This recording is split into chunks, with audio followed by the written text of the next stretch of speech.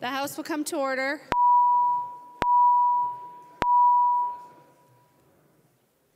Prayer by the chaplain. Thank you for allowing me the chance to pray with you today. God our Father, we invite you to be present with us wherever we are, that we might learn from you how to love your people and direct them to what is truly good.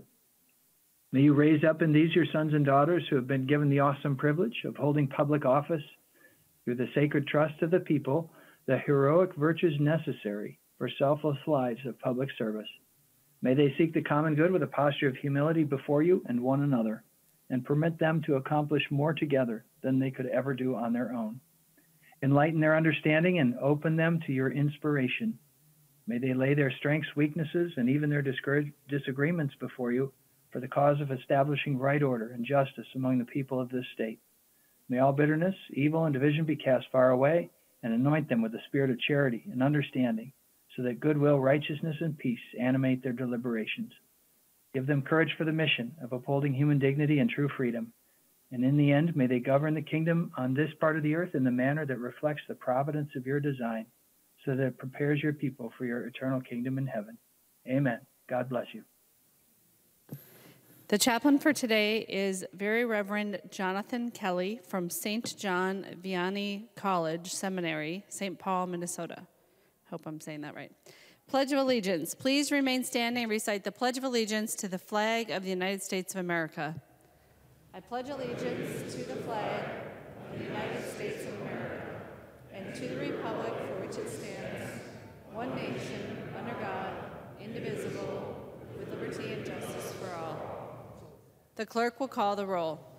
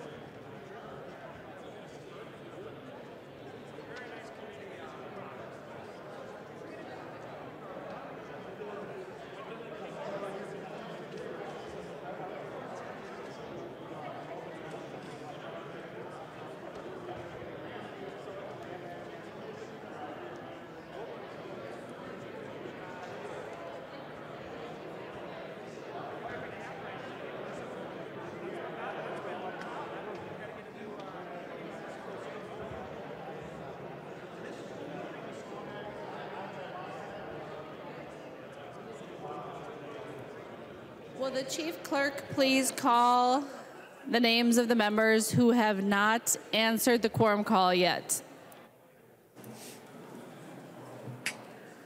Members, please take your conversations off of the- House floor so that we can hear the quorum call. Albright.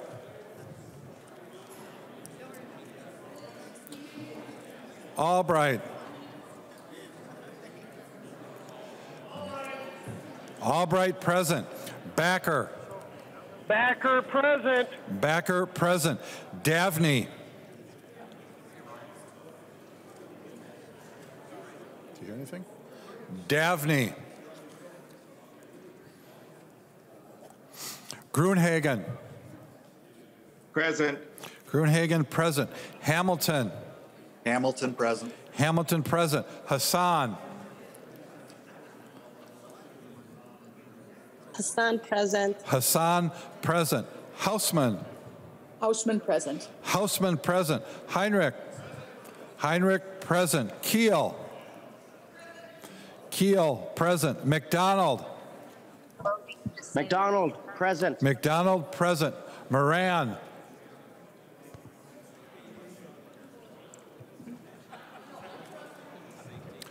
Moran. Munson. Munson. Munson present. Munson present. Pearson. Pearson. Sandell. Present. Pearson present. Sandell. Present. Sandell present. Theis. Theis present. Thompson. Thompson present. Thompson present. West. West present. Davnie. Davnie. Moran. Moran. Pearson. Pearson. Pearson present. The clerk will close the roll.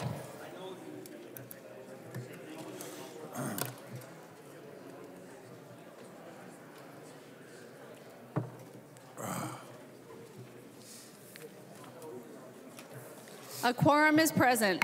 The clerk will read the journal of the preceding day. Journal of the House, 92nd Session, 2022, St. Paul, Minnesota, Monday, February 28th, 2022.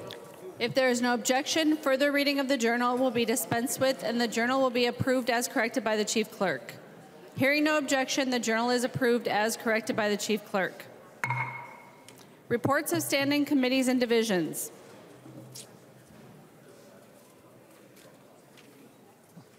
A copy of this order of business is online. We will take action on all committee reports with the exception of the five reports relating to appointments to the Campaign Finance and Public Disclosure Board. If there is no objection, the reports will be adopted. Hearing no objection, the reports are adopted.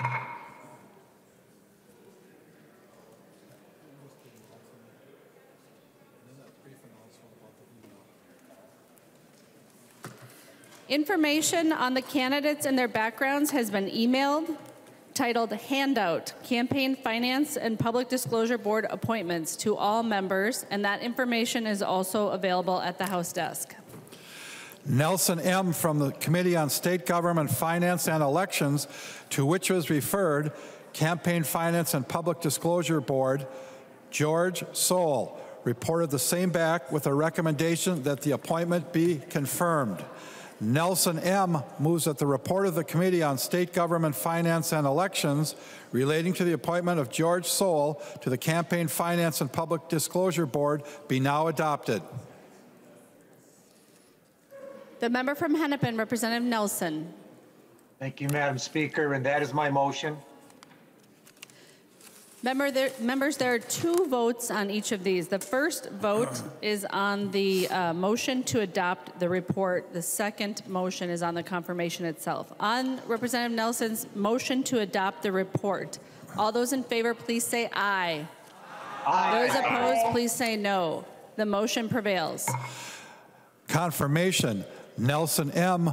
moves that the House, having advised, do now consent to, to confirm the appointment of George Soule effective March 30th, 2021 for a term that expires on January 6, 2025. Representative Nelson. Madam Speaker, that is my motion.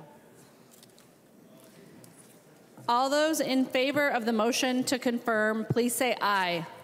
Aye. Those opposed, please say no. The motion prevails. Nelson M. from the Committee on State Government, Finance, and Elections, to which was referred Campaign Finance and Public Disclosure Board, Margaret Leppik, reported the same back with a recommendation that the appointment be confirmed. Nelson M. moves that the report of the Committee on State Government, Finance, and Elections relating to the appointment of Margaret Leppik to the Campaign Finance and Public Disclosure Board be now adopted.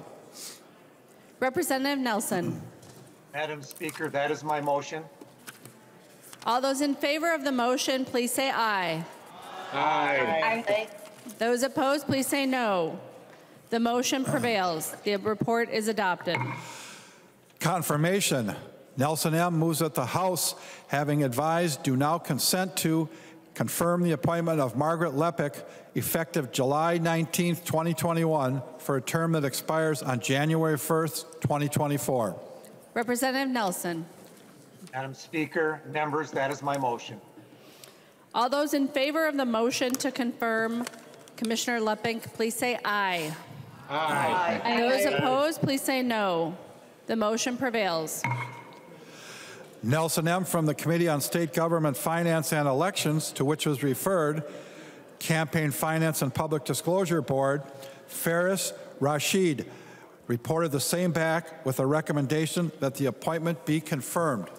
Nelson M. moves that the report of the Committee on State Government, Finance, and Elections relating to the appointment of Faris Rashid to the Campaign Finance and Public Disclosure Board be now adopted. Representative Nelson. Madam Chair, or Madam Speaker, and members, that is my motion. All those in favor of the motion to adopt the report related to Faris Rashid, please say aye. Aye. Those opposed, please say no. The motion prevails. The report is adopted. Confirmation. Nelson M. moves that the House, having advised, do now consent to and confirm the appointment of Faris Rashid effective July 19th, 2021 for a term that expires on January 2nd, 2023. Representative Nelson. Madam Speaker and members, that is my motion. All those in favor of the motion to confirm Faris Rashid, please say aye. aye. Those opposed, please say no. The motion prevails. Nelson M. from the Committee on State Government, Finance, and Elections, to which was referred Campaign Finance and Public Disclosure Board, Stephen Swanson, reported the same back with a recommendation that the appointment be confirmed. Nelson M. moves that the report of the Committee on State Government, Finance, and Elections relating to the appointment of Stephen Swanson to the Campaign Finance and Public Disclosure Board be now adopted. Representative Nelson. Thank you, Madam Speaker and members. Again, that is my motion. On the motion to adopt the report relating to Stephen Swanson, all those in favor, please say aye. Aye. Those opposed, please say no. The motion prevails. Nelson M. from the Committee on State Government, Finance, and Elections, to which was referred Campaign Finance and Public Disclosure Board, David Asp, reported the same back with a recommendation that the appointment be confirmed. Nelson M. moves that the report of the Committee on State Government, Finance, and Elections relating to the appointment of David Asp to the Committee on Finance and Public Disclosure Board be now adopted.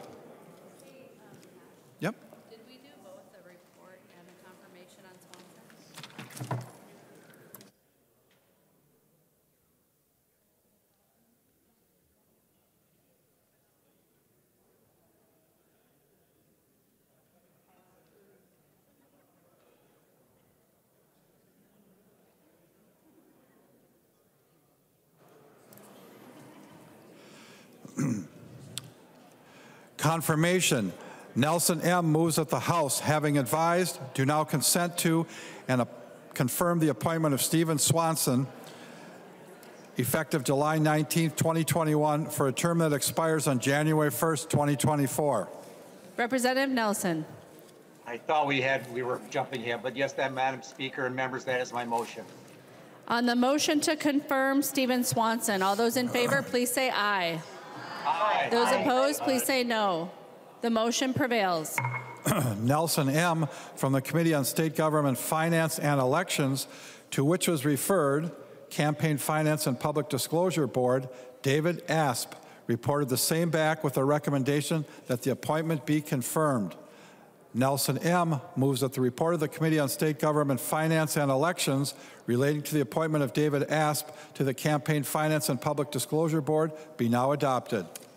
Representative Nelson. Madam Speaker and members, again, that is my motion. On the motion to adopt the report relating to David Asp, all those in favor, please say aye. Aye. Those opposed, please say no. The motion prevails. Conf- Confirmation, Nelson M. moves that the House, having advised, do now consent to and confirm the appointment of David Asp effective February 16, 2022, for a term that expires on January 5, 2026. On the motion to confirm David Asp, all those in favor, please say aye. Aye. Those opposed, please say no. The motion prevails.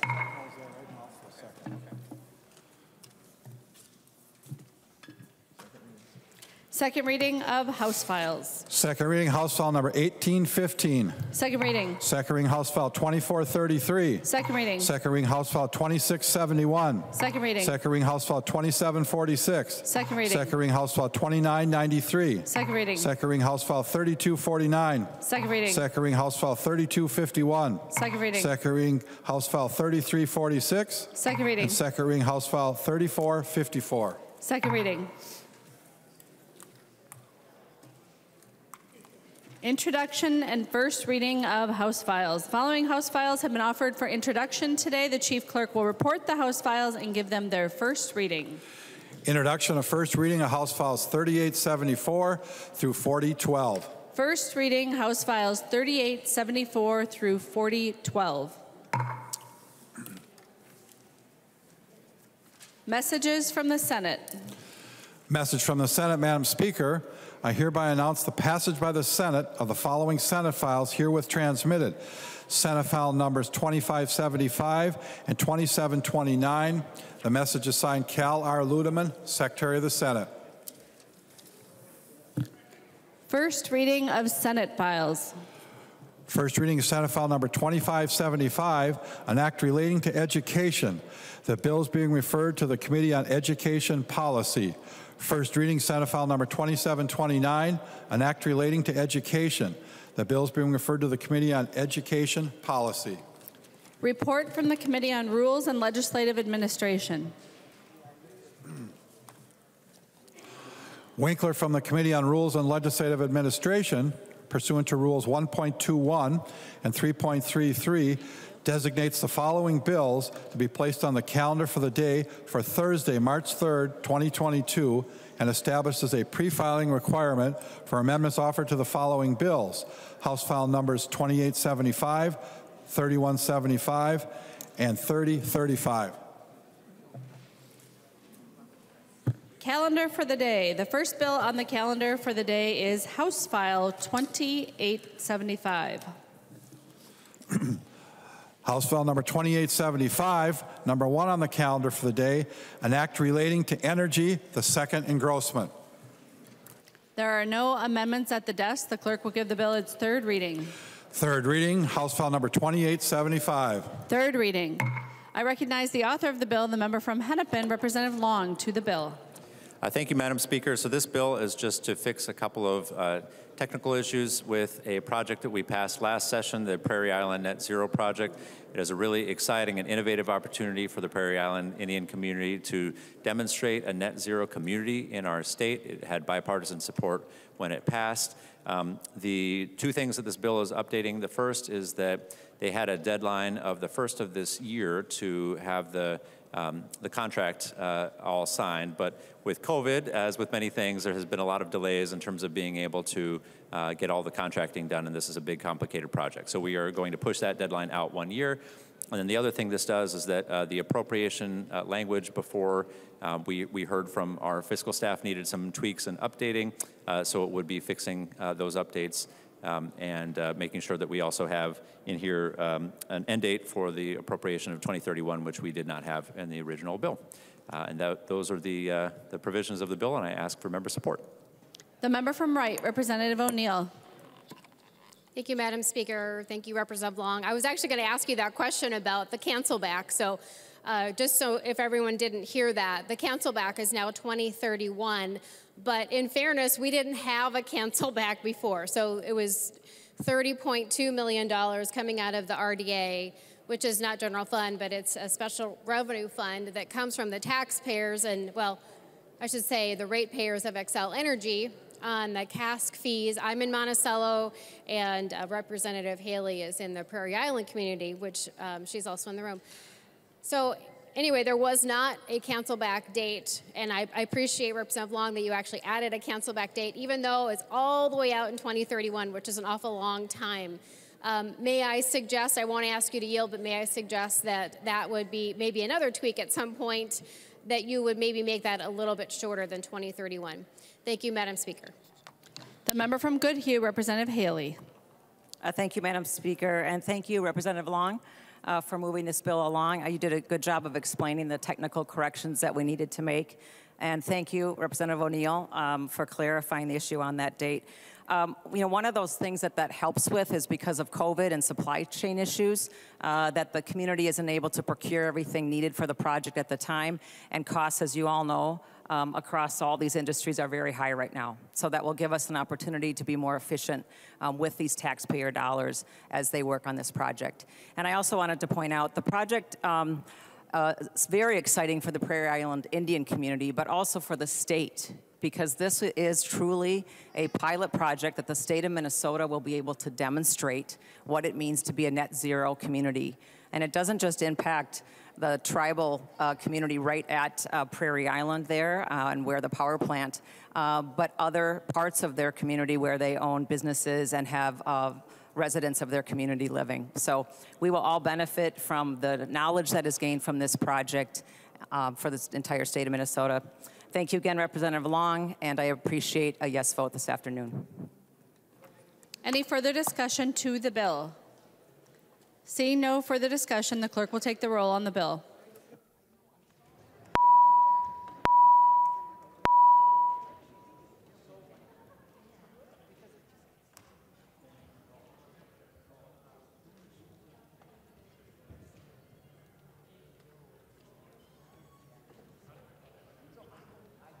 Members, please vote.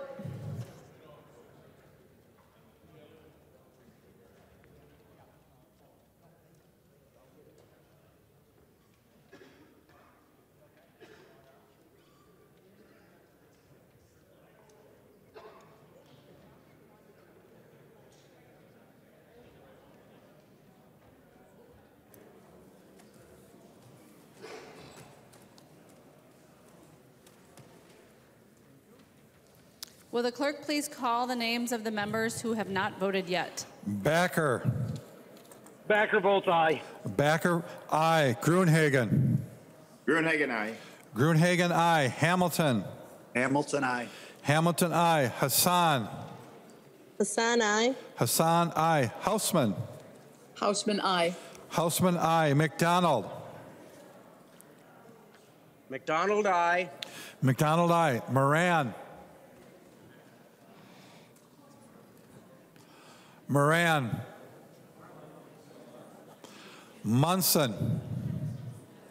Munson, aye. Munson, aye. Novotny. Novotny, aye.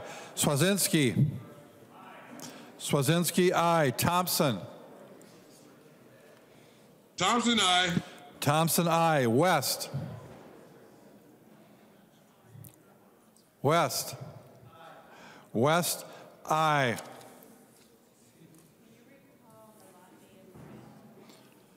Novotny, we got his aye. He voted.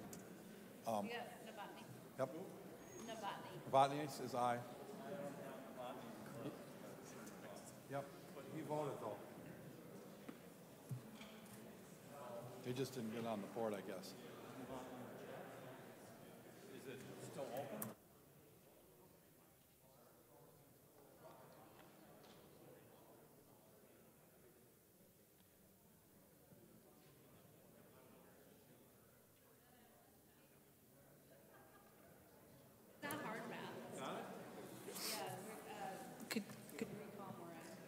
Moran, the clerk will close the roll.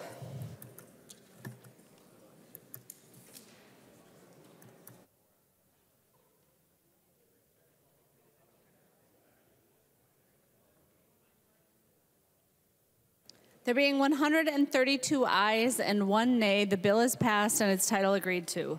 The next bill on the calendar for the day is House File 3175.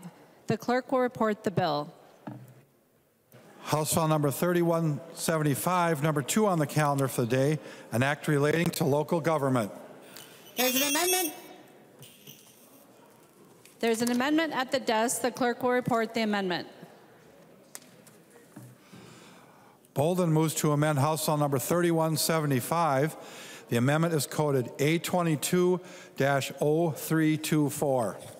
The member from Olmsted, Representative Boldon. Thank you, Madam Chair. That is my amendment. It uh, just removes six uh, additional words that are duplication from the actual bill. So just a cleanup amendment. Any discussion? Seeing none, all those in favor, please say aye. Those opposed, please say no. The motion prevails. There are no further amendments at the desk. The clerk will give the bill its third reading. Third reading, House File Number 3175, as amended. Third reading as amended. Representative Boldon. Thank you, Madam Speaker and members. House File 3175 is a cleanup bill. It repeals redundancies in zoning and planning laws for Minnesota townships. What we currently have are two sets of powers that developed independently over time, and one of them has become the exclusive means by which townships conduct their land use planning. One set of powers is contained in Chapter 366 and is specific to townships. House File 3175 would repeal those sections of Chapter 366 that contain the original land use powers for townships. The powers outlined under that chapter were first granted back in the 1930s. Some towns still have their ordinances based on that chapter, but they aren't actively using them. For any town where this may be the case, there is a redirect to the second set of powers, which will provide continuity of land use management after the repeal would take effect. The second set of powers are outlined in Chapter 462 and, this are, and are the same powers which are granted to townships under Chapter 366.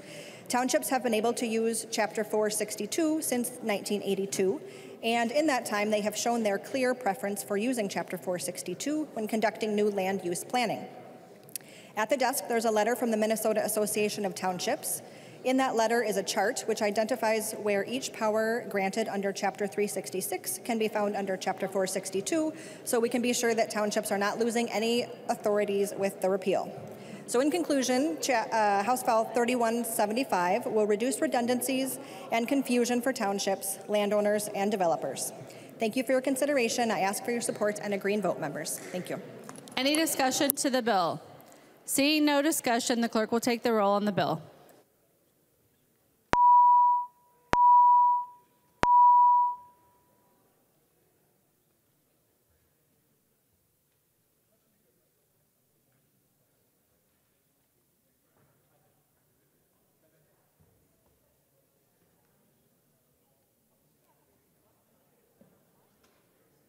Members, please vote.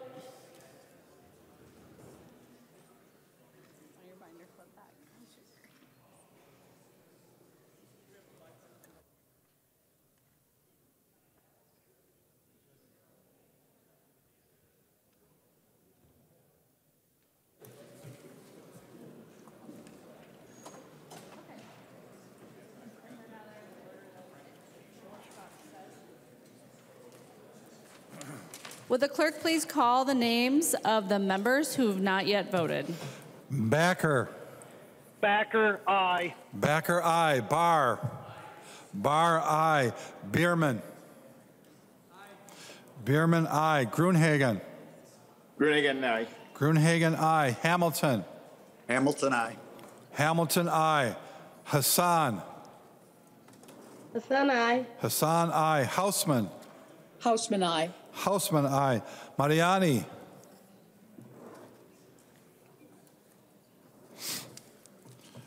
Mariani.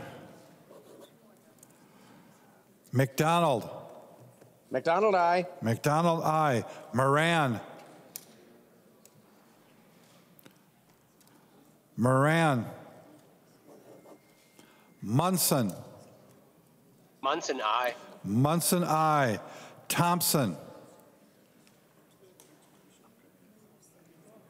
Thompson, aye. Thompson, I. Mariani. Mariani. Moran. Moran, I. Moran, I. The clerk will close the roll.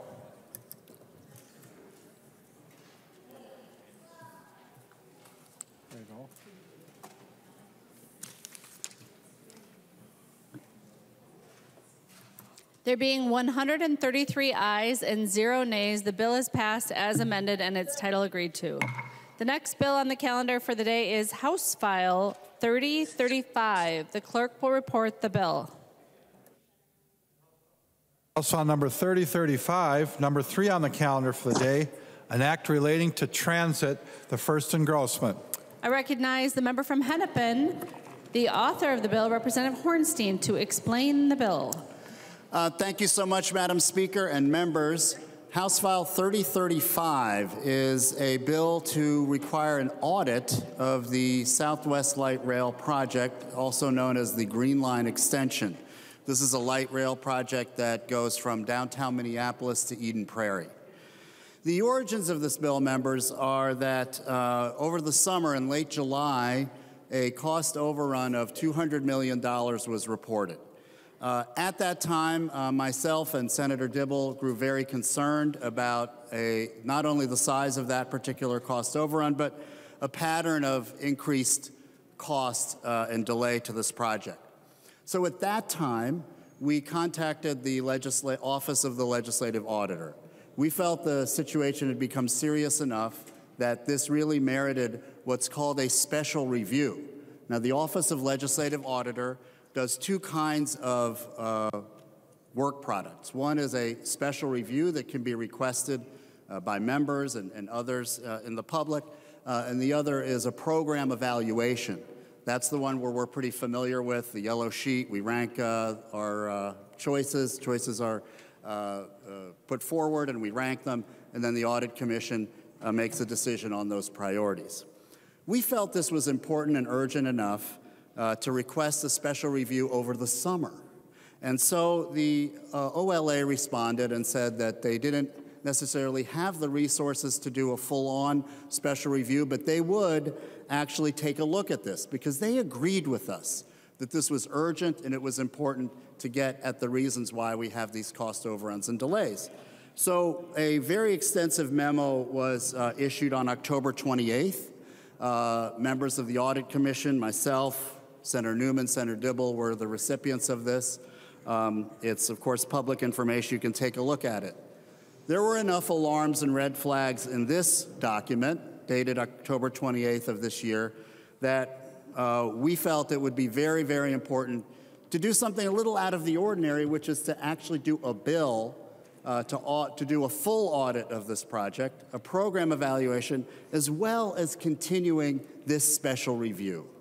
And so uh, myself and Senator Dibble introduced this bill uh, very early in the session.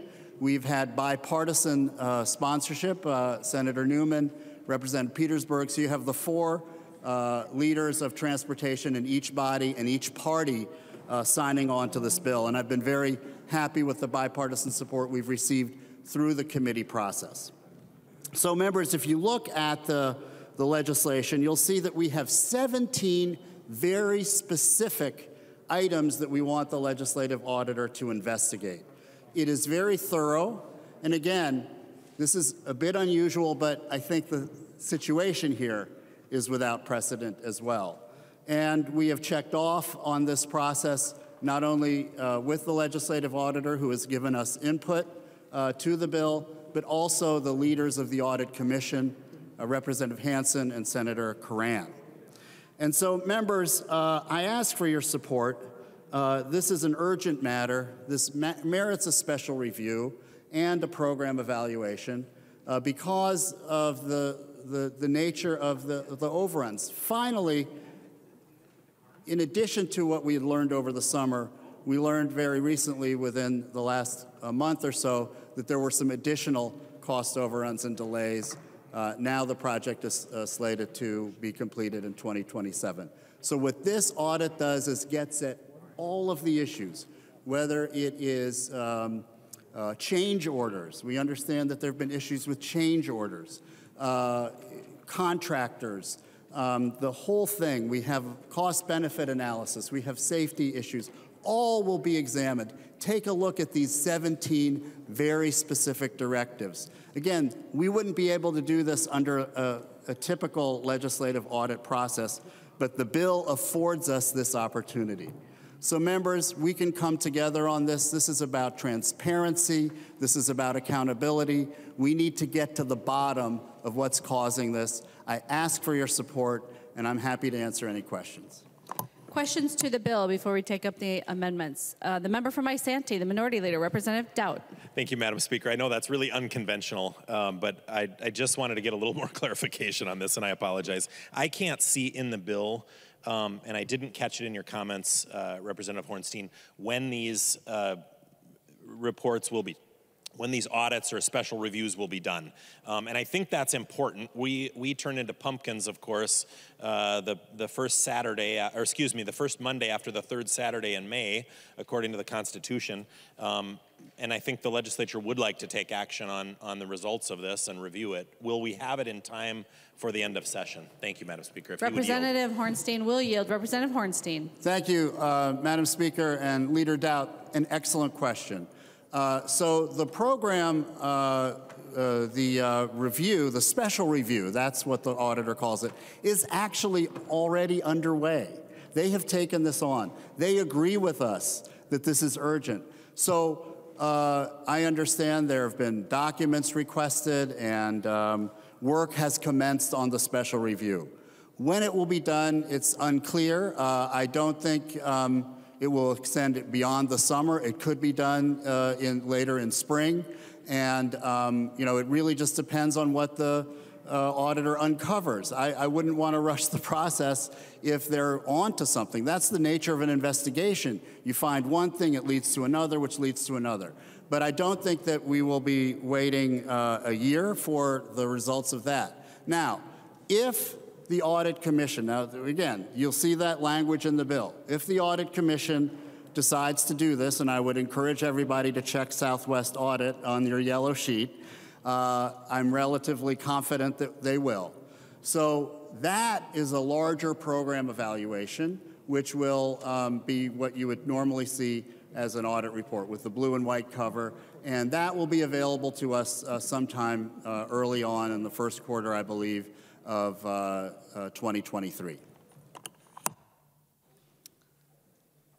There is an amendment at the desk. The clerk will report the amendment. Petersburg moves to amend House Bill number 3035, the first engrossment. The amendment is coded A4. The member from Waseca, Representative Petersburg. Uh, thank you, Madam Speaker, and, and, thank you, Chair Hornstein, for offering this bill. I'm co-author on it, and as I was reviewing, you know, the purpose of this uh, bill, it talks about what has happened into the past, which kind of left me with the understanding that, you know, not only do we want to know what's happening in the past, but I think we need to kind of stay updated as to what's going on into the future.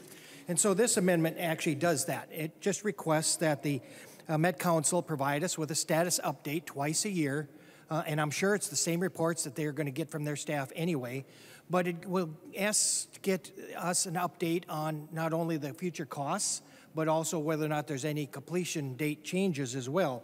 So in essence, it just keeps us informed about what's necessary and it's as simple as that. Uh, thank you, Madam Speaker. There is an amendment to the amendment. The clerk will report the amendment. Torkelson moves to amend the Petersburg Amendment to House File Number 3035, the first engrossment. The amendment to the amendment is coded A11. The member from Brown, Representative Torkelson. Well, thank you, Madam Chair. Uh, the amendment to the amendment really deals with uh, the project as it's in progress. Uh, we had a uh, meeting the other day, and the chair of Zelle of the Met Council uh, spoke to us, told us that uh, this project is so far down the road and so important that it has to continue. He also acknowledged that the cost of the project is going to go up by another somewhere between 400 and 700 million dollars. Uh, so I asked Chair Zelle, where the heck are you going to get the money? Uh, and frankly, Madam Chair, he did not have a good answer. Uh, apparently, there's not enough money to finish this project on budget, and there's not enough time, there's not enough progress made to finish this project on schedule. Behind schedule, behind budget, yet they want to continue work on this project, even though they have not identified where the additional funds are going to come from, Madam Chair. Uh, I think it's critical that we pull back on the reins, uh, slow this thing down, in fact, stop it until at least, at the very least, we know where the money's coming from to fund the remainder of this project. That's my amendment, Madam Chair. I ask for a green vote. Representative Wolgamott. Madam Speaker, I regretfully rise to a point of order. State your point of order. Well, Madam Speaker, under House Rule 3.21B, an amendment to an amendment on the House floor must relate to only the primary amendment without introducing any new subject. And while I appreciate what the member from Brown is trying to do with the A4 amendment, requiring the Metropolitan Council to provide status updates on the Southwest Light Rail Transit Project, pertaining to anticipated expenditures and changes in completion date. Unfortunately, the A11 amendment introduces several new subjects. It creates new and separate reporting requirements. It modifies the timeline and the fiscal impacts of the Southwest Light Rail project. Unfortunately, Madam Speaker, it's not germane, and I respectfully ask that you rule it out of order. Representative Torkelson. I find the point of order well taken. Representative Torkelson. Thank you, Madam Chair. Uh, we want to do things in order around here, right? Usually I, when somebody stands, they're waiting to be recognized. But uh, uh, fire just, away, Representative Torkelson. Well, thank you, Madam Chair. Uh, but I, I, I, I, well, anyway, I don't have a permit appeal the, I would like to appeal the ruling of the chair and request a roll call, Madam Chair. Madam Speaker. Surprisingly, Representative Torkelson requests uh, to appeal the ruling of the Speaker and request a roll call. Seeing 15 hands, there will be a roll call. Would you like to speak to your appeal? Representative Torkelson. Well, thank you, Madam Chair. I have some advice. Uh, you know, the section that uh, Representative Petersburg amendment deals with is titled Southwest Light, Light Rail Transit Expenditures and Schedule. Uh, Madam Chair, that's exactly what my amendment is about. It's about the expenditures and the schedule, as I spoke to earlier. I will not repeat myself, Madam Speaker. I will just request a green, uh, you'll have to explain to make sure we get the vote right. The question before the body is, shall the decision of the Speaker stand as the judgment of the House? A yes or a green vote supports the ruling of Speaker. A no or a red vote goes against the ruling of the Speaker. Seeing no further discussion, the clerk will take the roll on the appeal.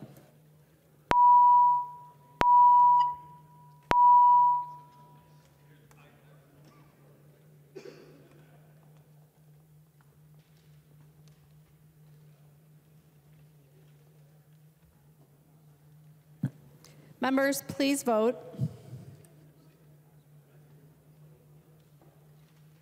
Jill Shirtsworth? St. Paul's teacher.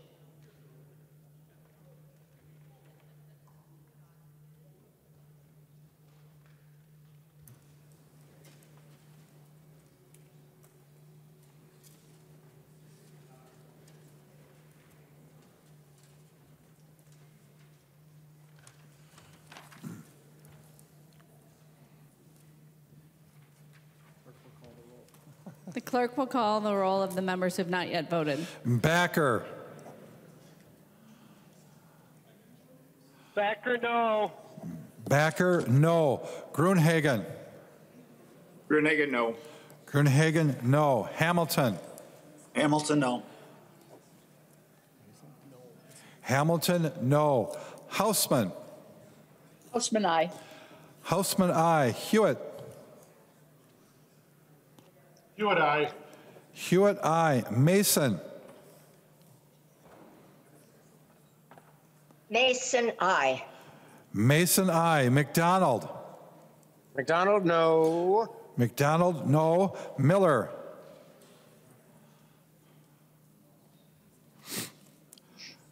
Miller. Moran. Aye. Moran. Moran, aye. Moran, aye. Munson. Munson, no. Munson, no. Neu Brindley.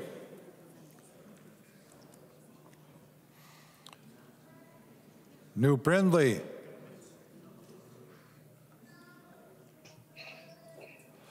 Noor. Nor, aye. Noor, aye. Thompson. Thompson, aye. Thompson, aye. Miller. Miller. Neu Brindley. Neu Brindley, aye.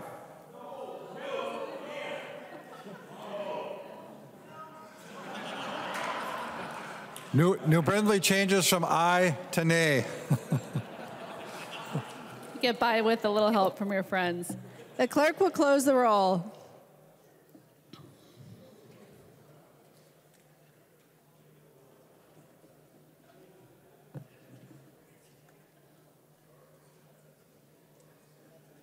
There being 70 ayes and 63 nays, the, it is the judgment of the House that the ruling of the Speaker shall stand. There's another amendment at the desk. The clerk will report the amendment. Heinrich moves to amend the Petersburg Amendment to House File Number 3035, the first engrossment. The amendment is coded A12. The member from Anoka, Representative Heinrich. Thank you, Madam Speaker. Uh, before I explain my amendment, I'd like to request a roll call. Representative Heinrich requests a roll call. Seeing 15 hands, there will be a roll call. Representative Heinrich. Thank you, Madam Speaker. Members, we need to pause the funding on this uh, Southwest Light Rail project and all light rail projects until we see this audit come out. We must find out which mistakes have been made, what we've done wrong, and what we've done right. We want to make sure that as we spend taxpayer dollars, the process is transparent, everything's on the up and up, and we keep the project on the rails. This Southwest Light Rail project has gone off the rails, members. I encourage a green vote on this amendment. Thank you, Madam Speaker. The member from Ramsey, Representative Pinto. Thank you, Madam Speaker. I rise to a point of order under Rule 3.21B and am prepared to offer advice. State your advice. So, Madam Speaker, that rule, of course, uh, requires that amendment to amendment relate only to the subject of the primary amendment without introducing any other uh, topic. The uh, primary amendment is the A4 by Representative Petersburg, and he accurately described it as simple. It simply relates to six-month status updates, and this uh, secondary amendment, as Representative Heinrich said, would affect light, multiple light rail projects, their funding, their timing, their fiscal impact. Uh, Madam Speaker, I'd ask you to find the point of order well taken. I find the point of order well taken. Representative Heinrich. Thank you, Madam Speaker. I move to appeal the ruling of the Speaker and ask for a roll call vote. Representative Heinrich moves to appeal the ruling of the Speaker and requests a roll call. Seeing 15 hands, there will be a roll call. Representative Heinrich. Thank you, Madam Speaker. Members, this, uh, this amendment to the amendment is totally germane to the, uh, the original amendment. Uh, it deals with expenditures and, uh, and deals with timelines. We need to pause right now any further money being wasted, taxpayer dollars being wasted on, uh, on these type of projects until we know how to move forward in, in an accurate way. Um, it's, been, it's billions of dollars, members, and our taxpayers, Minnesotans, want to know that as we move forward in any future projects like this, that we have an audit that's done, that we know where we've gone off the rails. We don't want to make any more mistakes. We want to spend taxpayer dollars wisely. And this amendment, Madam Speaker, is germane because it deals with the expenditures. Thank you, Madam Speaker. The question before the body is Shall the decision of the Speaker stand as a judgment of the House? A yes or a green vote upholds the ruling of the Speaker. A no or a red vote would go against the ruling of the Speaker. Seeing no further discussion, the clerk will take the roll on the appeal.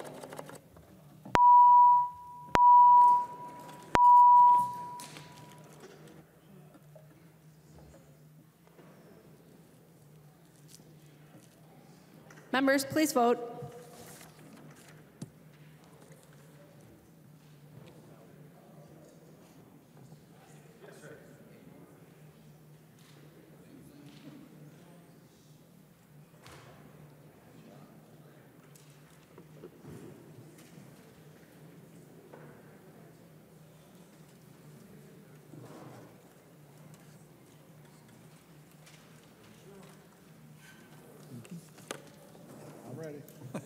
Will the clerk please call the names of the members who've not yet voted? Backer. Backer, no. Backer, no. Gruenhagen. Gruenhagen, no. Gruenhagen, no. Hamilton. Hamilton, no. Hamilton, no. Hausman. Houseman, aye. Hausman, aye. Mason. Mason, aye. Mason, aye. McDonald. McDonald, no. McDonald, no. Miller. McDonald, no. Miller. Moran. Moran, aye. Moran, aye. Murphy. Murphy, aye. Murphy, aye. Noor. Nor, aye. Noor, aye. Thompson.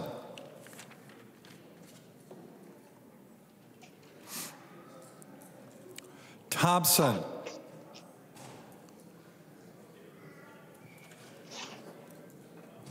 Miller.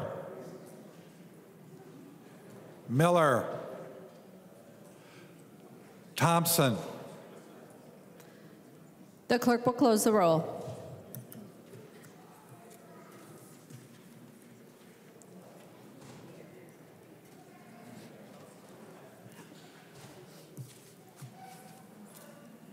There being 69 ayes and 63 nays, it is the judgment of the House that the ruling of the Speaker shall stand. There is another amendment at the desk. The clerk will report the amendment. Daudt moves to amend the Petersburg Amendment to House File Number 3035, the first engrossment. The amendment is coded A. Amendment to amendment is coded A7. Member from Isanti, Representative Daudt. Thank you, Madam Speaker and members. Uh, this is an amendment that would uh, basically pause the funding on uh, Southwest Light Rail while this um, this audit is completed. And, and I think that this is really important. Uh, and beyond that, it actually terminates, at the completion of the audit, it terminates Southwest Light Rail uh, completely. So if you want to vote to, to end Southwest Light Rail, this is your vote. Um, and, and believe me, write down on a little notepad in your desk, pull it out, write down on a little notepad that today was the day, write down the date and the time that I gave you the opportunity to vote against Southwest Light Rail. And even just for fun, vote down when they write, write down when they told you that this project was going to be done and how much it was going to cost. And then we'll revisit that in a few years. And I'll have you pull that piece of paper out and, and you can uh, remind yourself that you had the opportunity to vote to kill this project. And, and you can see the numbers and, and when they had promised it was going to be done. And I wish that they would have done that and you all remembered what they told you when this project passed the first time because we're already, I think, over double now, and we're on our way to three or four times the cost, okay? And that is standard operating procedure when it comes to building rail, and not just here in the state of Minnesota. I'll talk about that a little more, uh, but probably on third reading. Um, if, if you want to actually do an audit that means something and gives you the opportunity to, to take action, we can't continue to spend money while the audit's happening. We heard from the chair earlier, and believe me, I, I apologize. I and I appreciate you giving me the opportunity to ask that question a little bit out of order. I wasn't doing it to set this up, but it, it did happen to work that way. I, I really didn't hear it in your comments, and I really just honestly wanted to know when those would be done. I appreciate that there are two separate uh, reviews of this being done. Um, But this audit is not going to be done for a year, basically. First quarter of next year, that's what I heard. Um, and in the meantime, we're just going to keep spending. I, I, don't know how much, I don't know at what rate we're spending, um, but I assume uh, that this project will be, you know, closer to being finished, and I'm sure they'll probably expend another, who, I mean, who knows? $500 million, a billion dollars, I don't know, between now and then. So if we're not going to do anything with the audits that we're requesting, why are we doing the audits? If we don't learn anything from the information that we request, why do we do it? I mean, the reality is that this project already, I will say we don't need an audit. We wouldn't need to waste this money on an audit. We could literally just shut this project down. We could just kill it.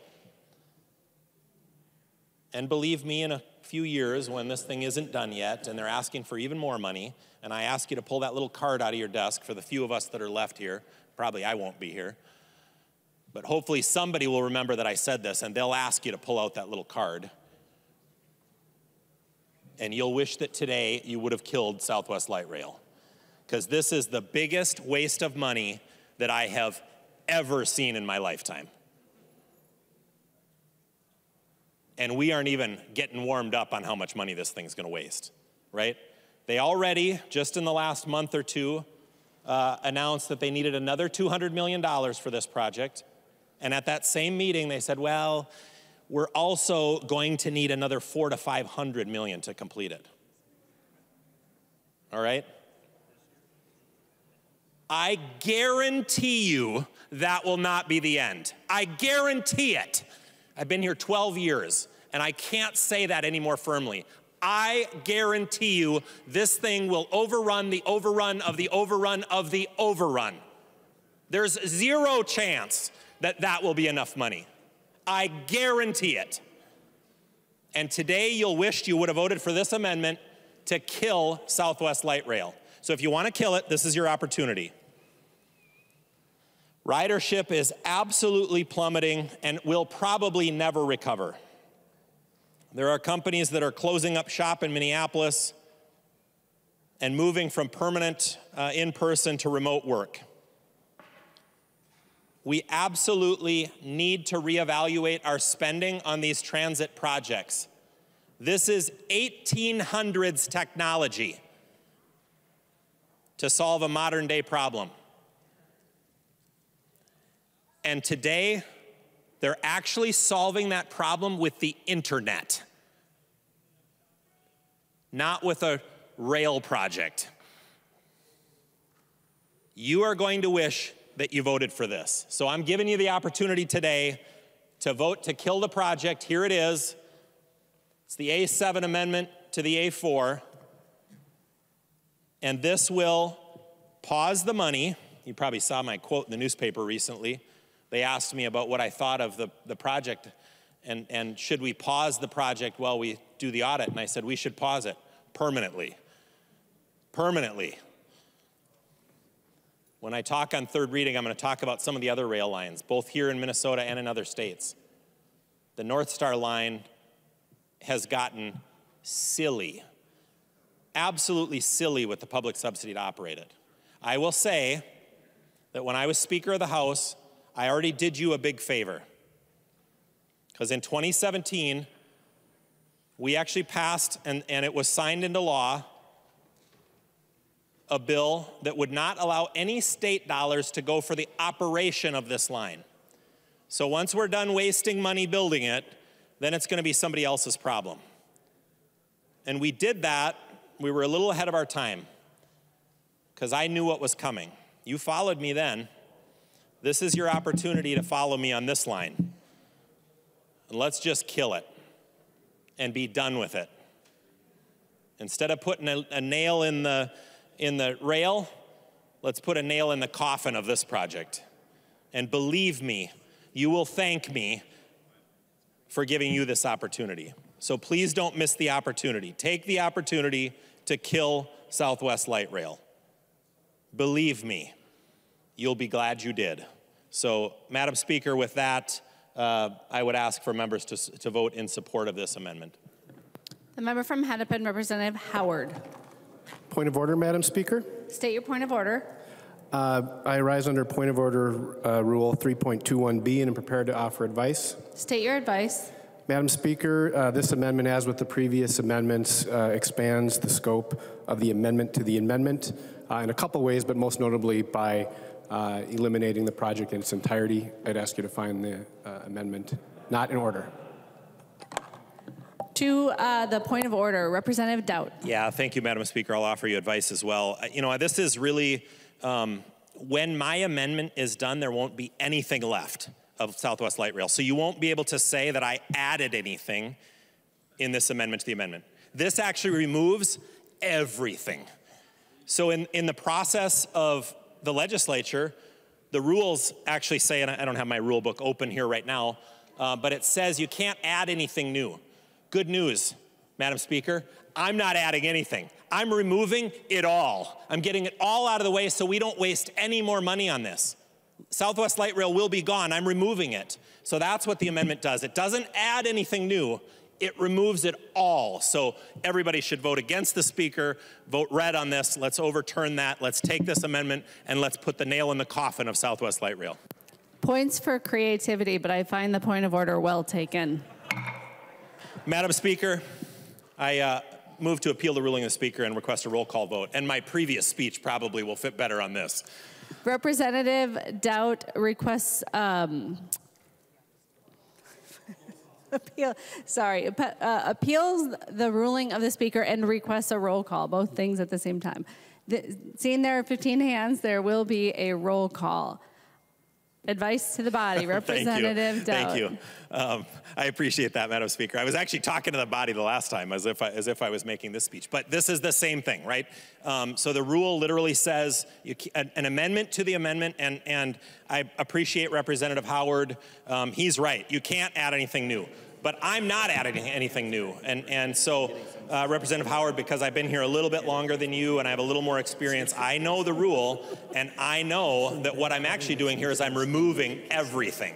Um, so I'd, I'd appreciate if members would put up a red vote. Um, let's uh, overturn the ruling of the Speaker. Let's take this amendment up. Um, let's add it to the bill, and let's actually put the nail in the coffin of, of Southwest Light Rail uh, once and for good, uh, because that's what needs to happen. Thanks, members. The member from Stearns, Representative O'Driscoll. Well, Madam Speaker, first of all, I want to say how great it is to be back in the chambers with our colleagues and being able to have face-to-face debates and discussions like this. I've missed this. Uh, Madam Speaker, um, point of parliamentary inquiry. State your point of parliamentary inquiry. So if a, an amendment has been offered and that amendment asks to um, terminate the particular bill or measure that's in that bill or amendment is no longer germane, then whatever we bring forward can never be modified or terminated as a part of an amendment. Is this going to be precedent that we're setting on how we're going to be handling amendments of this nature in the future?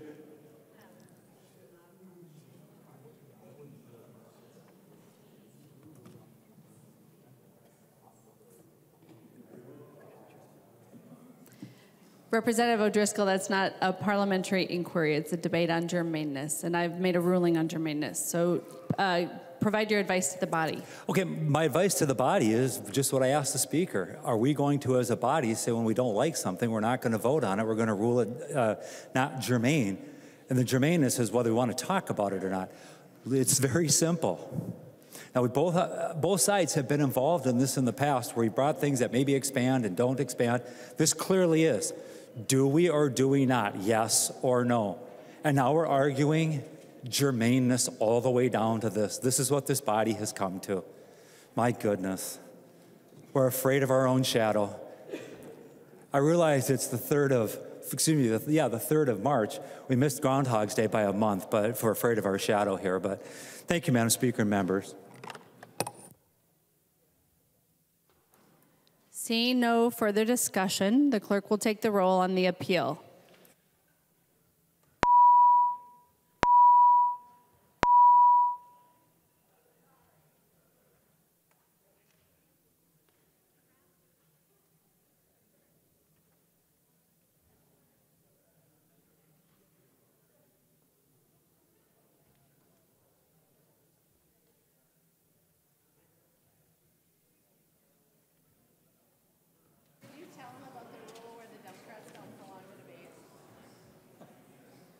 Members, please vote.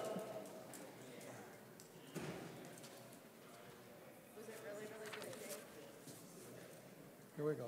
Will the chief clerk please call the names of the members who have not voted yet? Backer. Backer, no. Backer, no. Bierman. Bierman, aye. Grunhagen. Gruenhagen, no. Gruenhagen, no. Hamilton. Hamilton, no. Hamilton, no. Hausman. Hausman, aye. Hausman, aye. Johnson. Johnson, no. Johnson, no. Mason. Mason, I. Mason, aye. McDonald. McDonald, no. McDonald, no. Miller. Excused. Miller excused. Moran. Moran, I. Moran, aye. Thompson. Thompson, aye. Thompson, aye. The clerk will close the roll.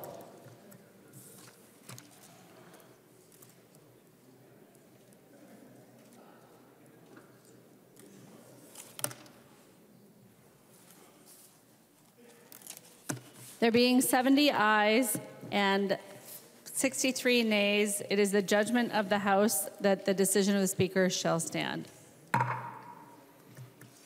There is another amendment to the amendment. The clerk will report the amendment. West moves to amend the Petersburg Amendment to House File Number 3035, the first engrossment. The amendment to the amendment is coded A5. The member from Anoka, Representative West. Thank you, Madam Speaker. Well, our, uh, so far amendments haven't had a good track record. We haven't even gotten to a real vote. But my amendment is so eminently reasonable, I think we can make it there. So my amendment makes it so if this project runs over 5% over cost in the future, which It will. which it will, or if it's delayed by uh, six months or more, which is also probably will happen, that the legis- that the Met Council must immediately, not just you know annually or whenever, they immediately must report it to the ranking minority members on the committees as well as the chairs. And that's important because it actually makes this public. When, you know, if you think about in the private sector, if you say something's going to cost a billion dollars, and then you come back and say it costs $2.2 billion or more, well, we need to know exactly how that happened and exactly what's going on there, because this is taxpayer money and boatloads, boatloads of it at that. So, with my amendment, we can make sure we get some accountability here and transparency and bring the public into the loop, because right now nobody has no idea what's going on. So, thank you, Madam Speaker. Representative Hornstein. Thank you, Madam Speaker. Members, thank you, uh, Representative West. I think this is a good amendment. It keeps in the spirit of uh, what we're trying to accomplish here. Um, I would just simply say immediately can be construed in many ways. So um, I think a reasonable amount of time, a few days a week, something like that, I think would be fine. But I'll take this amendment, and I appreciate your bringing it. I would encourage members to vote yes. Representative Daudt.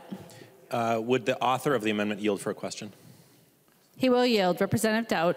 I apologize. There was some con- uh, conversation about when those notices would come to us. Do you know? Can you clarify for me, uh, Representative West, how soon those would happen?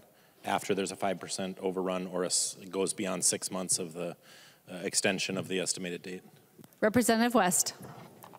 My amendment makes it happen immediately. So when they know, they have to report it to the committees. Representative Daudt. Thank you, Madam Speaker, and, and um, Representative West, thank you. I, I do appreciate that. Um, if we could have them directed to our cell phones, because this one's going to sound like your uh, text messages on a really busy news day. It's going to be ding, ding, ding, ding, ding. Every time this thing goes over 5% and every time it goes beyond six months, um, it's, it's just going to go crazy. So um, I, I can't wait to get those notices. Uh, so remember to write that all down on that sheet uh, and we'll revisit this. Thank you. Representative West. Thank you, Madam Speaker. And uh, I would like to request a roll call as well. Representative West requests a roll call. Seeing 15 hands, there will be a roll call. Any further discussion? The clerk will take the roll on the West amendment to the amendment.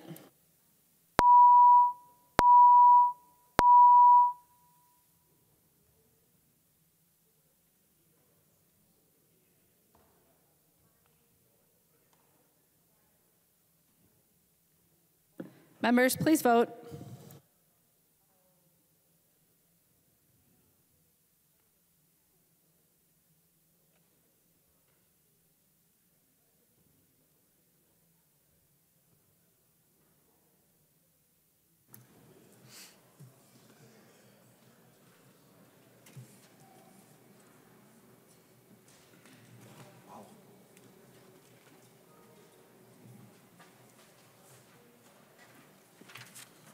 Will the clerk please call the names of the members who've not yet voted? Backer.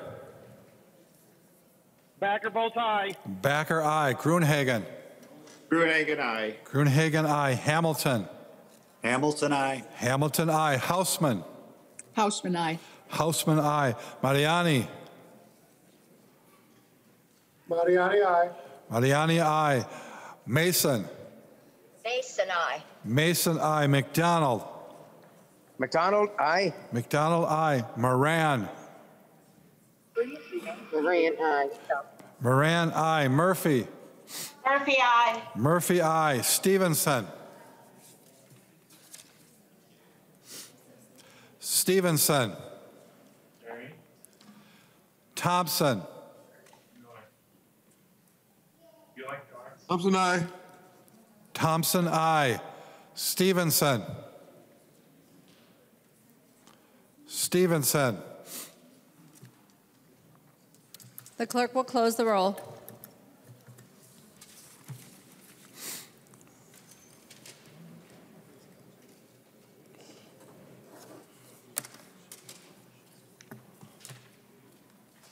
There being 132 ayes and zero nays, the amendment to the amendment is adopted. We are on the Petersburg Amendment as amended. Representative Petersburg. Uh, Thank you, Madam Speaker. I- I appreciate uh, this opportunity to to review again. This amendment, as amended, really does give us an opportunity to keep at least anticipation of understanding what the process is moving forward, what kind of costs are being uh, dealt with, and what kind of delays that might be there. And I think it's important for us, if it's important for us to know what the outcome of the audit is, it is important for us to know what the future is holding as well. And so um, I just appreciate your, your green vote, and uh, Madam Speaker, I would request a roll call. Representative Peterson requests a roll call. Seeing 15 hands, there will be a roll call. Representative Hornstein. Thank you, Madam Speaker. Members, and like the previous amendment, I think this keeps uh, uh, keeps us on track with our theme here of uh, accountability, transparency. It's a good amendment, Representative Petersburg. I appreciate your uh, uh, bringing forward, and I'd encourage a green yes vote on the uh, Petersburg amendment. Seeing no further discussion on the amendment as amended, the clerk will take the roll on the amendment.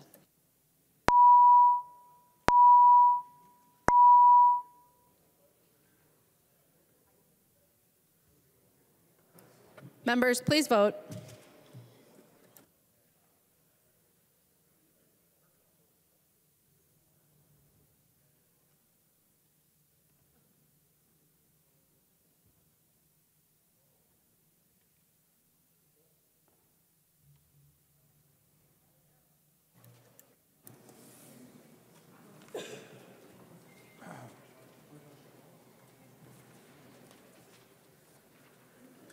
Will the chief clerk please call the names of the members who've not yet voted? Backer.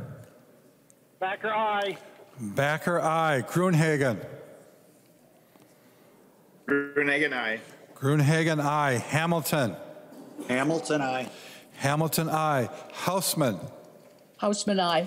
Hausman, aye. Mariani. Mariani, aye. Mariani, aye. Mason. Mason, I. Mason, aye. McDonald. McDonald, aye. McDonald, aye. Moran.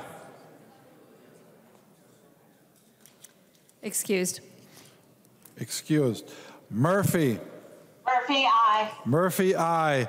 Reyer. Reyer, aye. Thompson. Thompson, aye. Thompson, aye. The clerk will close the roll.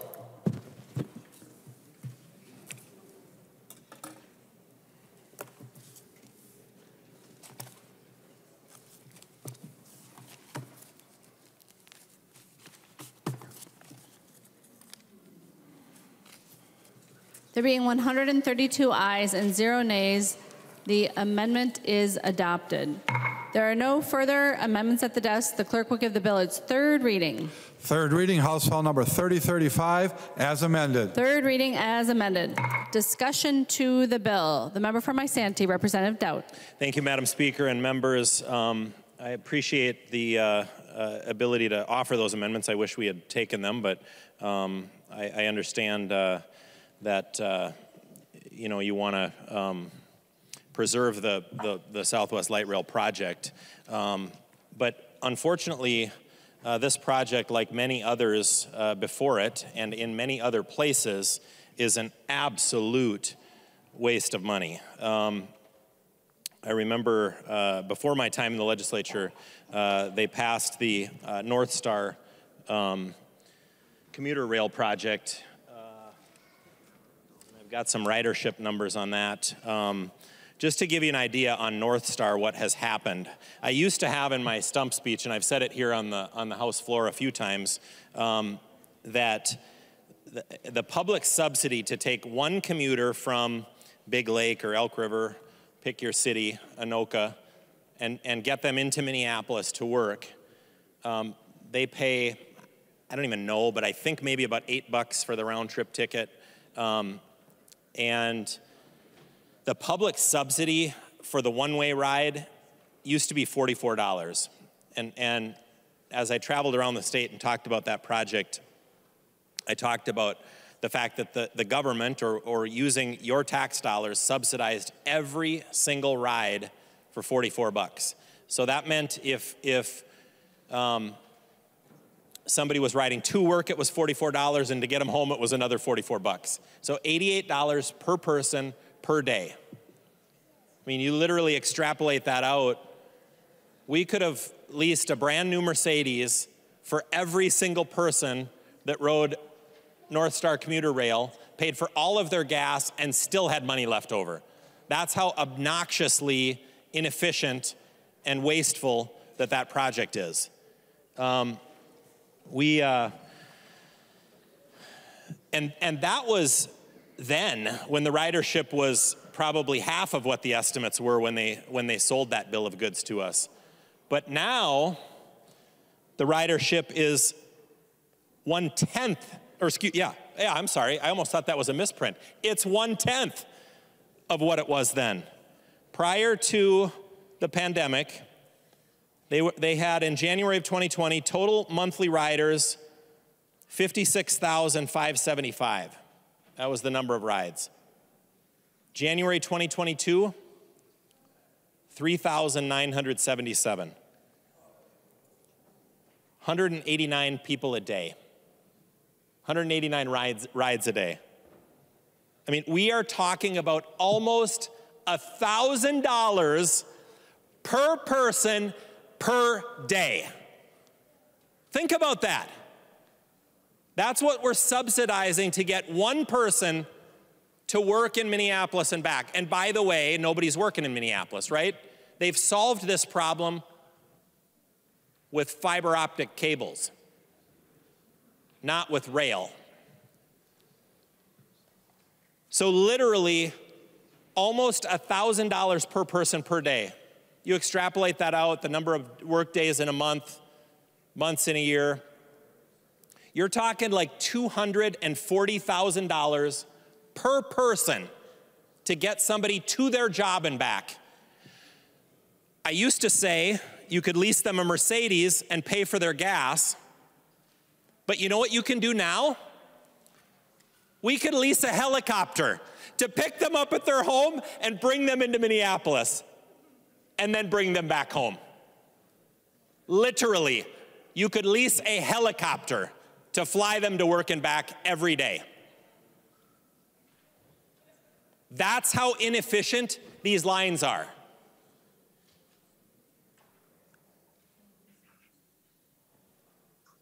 And that's what you're doing if we continue this project. Now, all of a sudden, you know, we're in an election year where it looks like off the shore there might be a bit of a wave building. And now we're going to, you know, take a vote to do an audit. that won't be done for another year. In the meantime, we're going to waste another half a billion dollars on this project. And then when we get the thing back, you're going to say, well, it's, I almost sounded like a senator there. Um, you're you're going to say, well, it's, it's too late now. We've spent too much money. We can't turn back.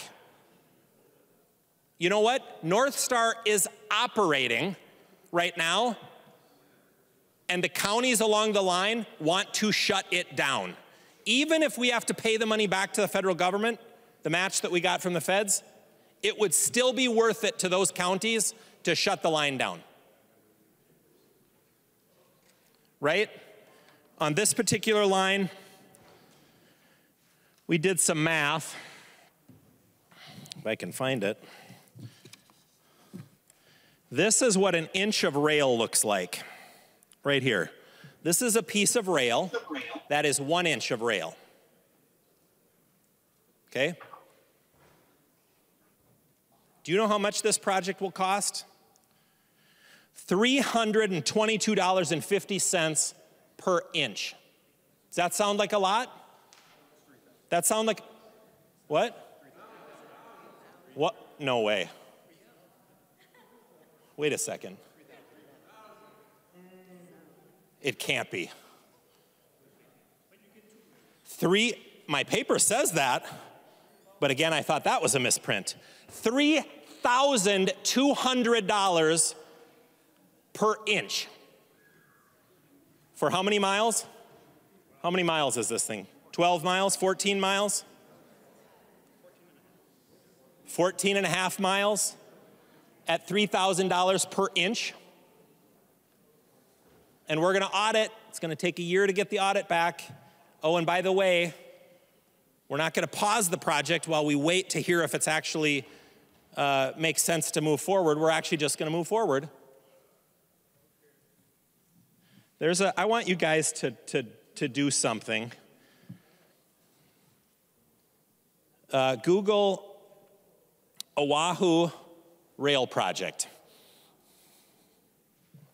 Yep, on the island of Oahu in the state of Hawaii, they are building a rail project. If any of you have been there any time in the last 20 years, you've seen the construction on it.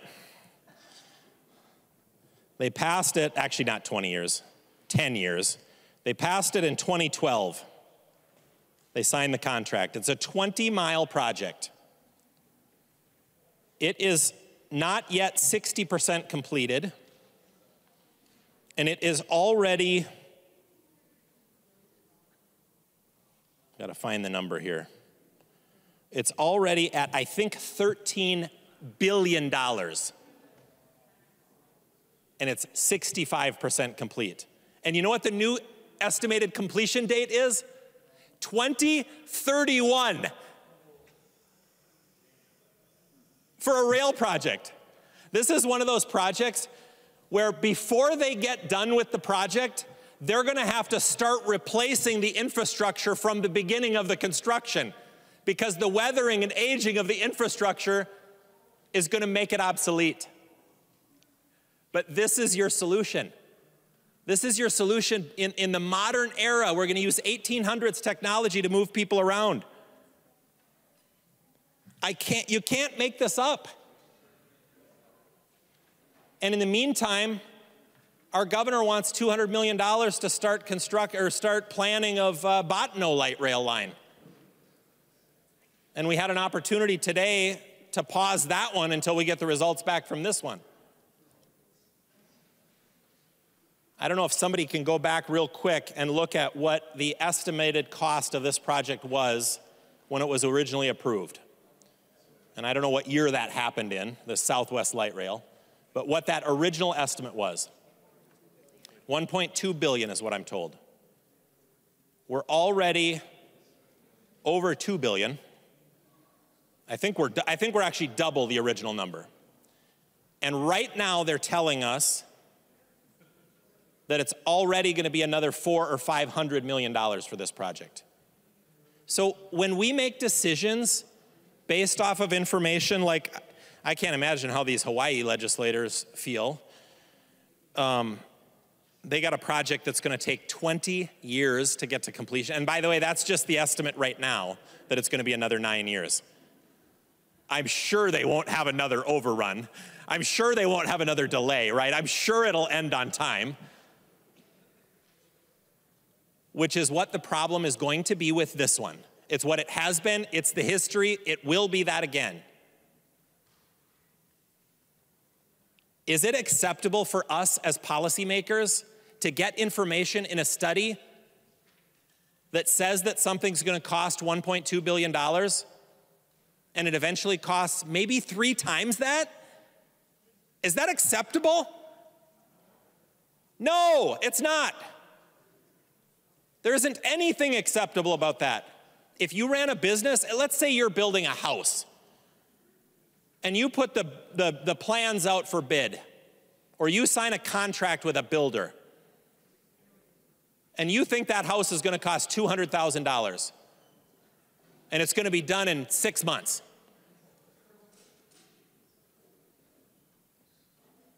But as you get to two months in, they now say it's going to, well, it's going to be 400,000 now. What? Yeah, and you signed a contract, and you know what? We already started building this thing. Um, so we can't really turn back now. And then you get four months in, and they say, well, you know, we're going to push this out. It's actually going to be a year, maybe a year and a half, we're not sure. Probably going to be 600,000. Would you accept that? Is there any of you that could look any one of your taxpayers in the face and say that you think that's an acceptable way to spend tax dollars? And I haven't even talked about the fact that the ridership estimates on these things are so overblown in these initial studies. There isn't a single line that has met its ridership estimates. There isn't a single line that's gotten anywhere close.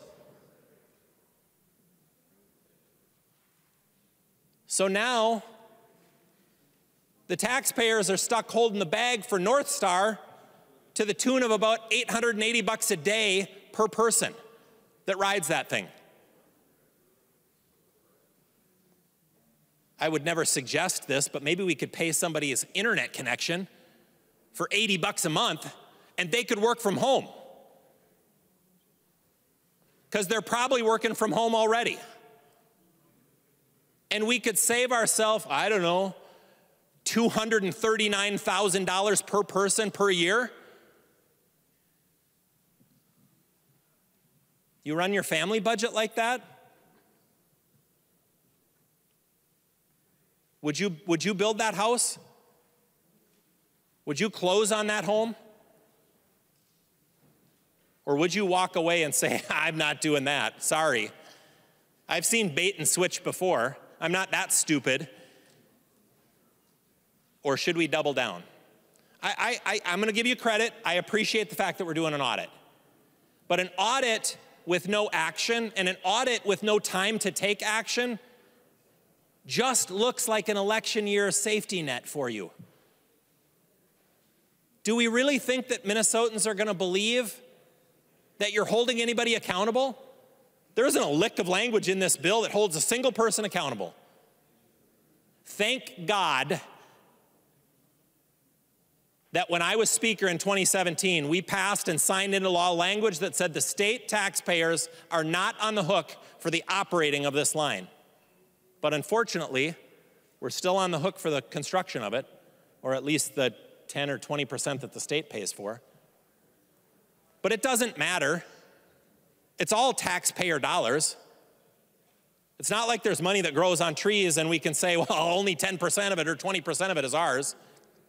It's all ours. Some comes through county taxes, some comes through federal taxes, and some comes through state taxes. But it's all your money.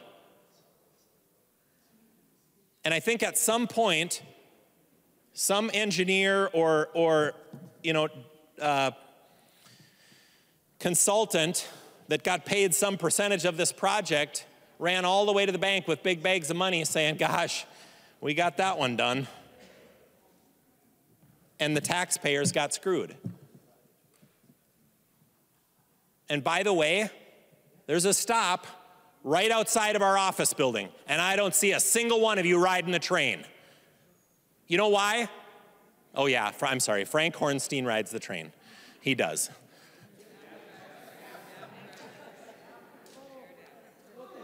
Davnie rides the train. I have not seen you.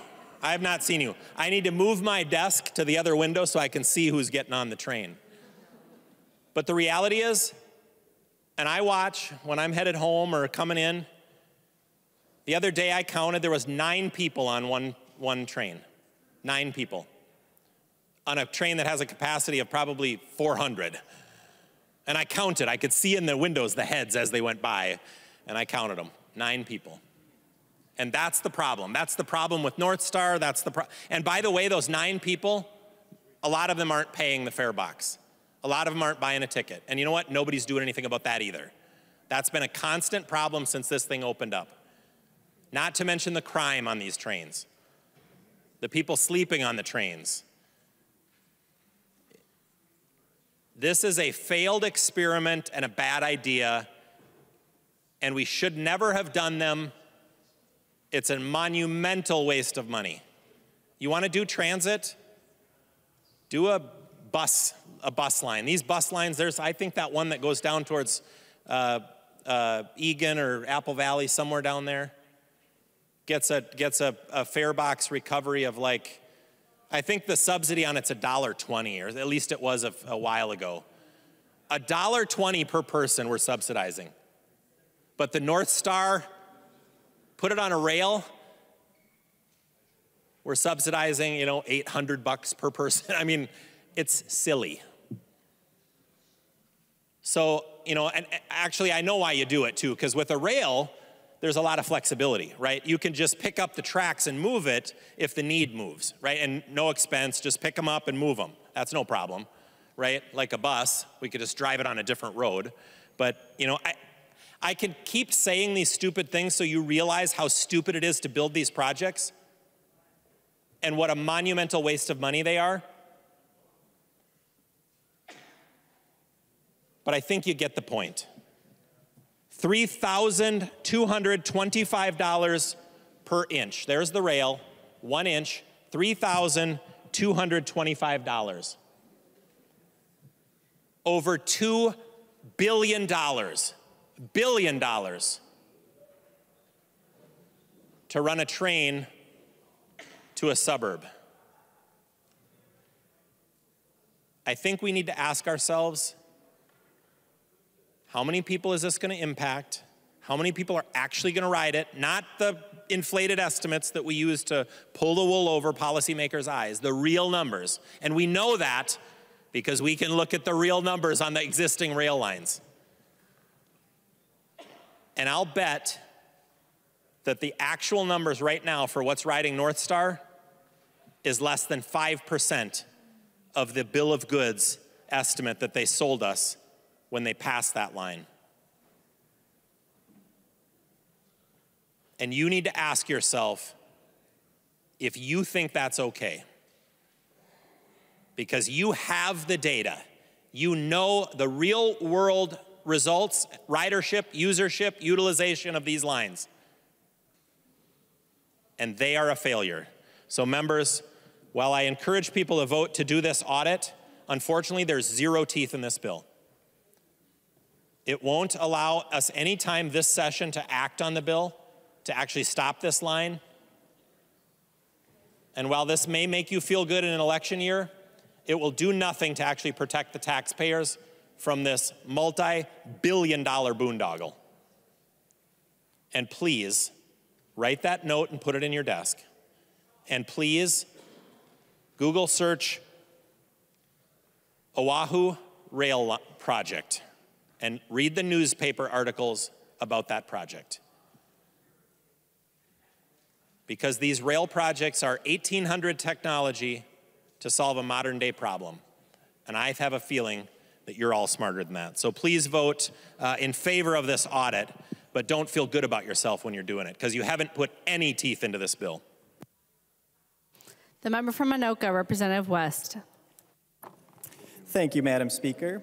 So I've served on the Transportation Committee every single year I've been in the legislature. And my sole purpose for serving on that committee is to rebuild Highway 65.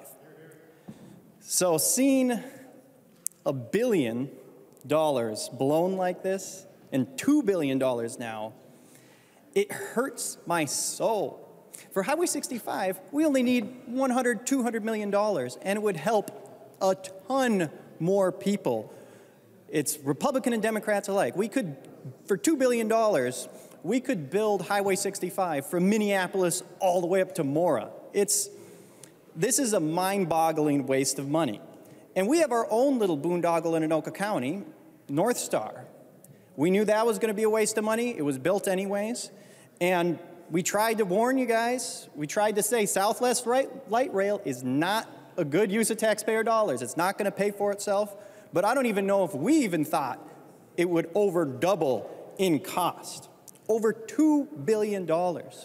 Imagine if we spent that money on roads and bridges that people actually use in your district or in your neighborhood. It's not just one. We could do a lot with $2 billion. And we just can't treat taxpayer dollars like this. It is a phenomenal waste. But thankfully, this bill is at least a step in the right direction. And I plan on voting for it. We need an audit. We need to really understand exactly how much money is being blown and why it's going on longer and longer and longer and costing more and more money. So it'd be great to scrap this whole project and use the money for something we actually need, like Highway 65. But this at least is a step in the right direction. We got to get to the bottom of it, find these costs, and hopefully we can just decide, eh, it was a bad idea anyways. Thank you, Madam Speaker. The member from Dakota, Representative Koznick. Thank you, Madam Speaker and members. We've talked uh, about this project over the years quite a bit, and more recently, we had a, an update in the Transportation Committee and now, so we know that we're $700 million potentially, potentially more, over budget.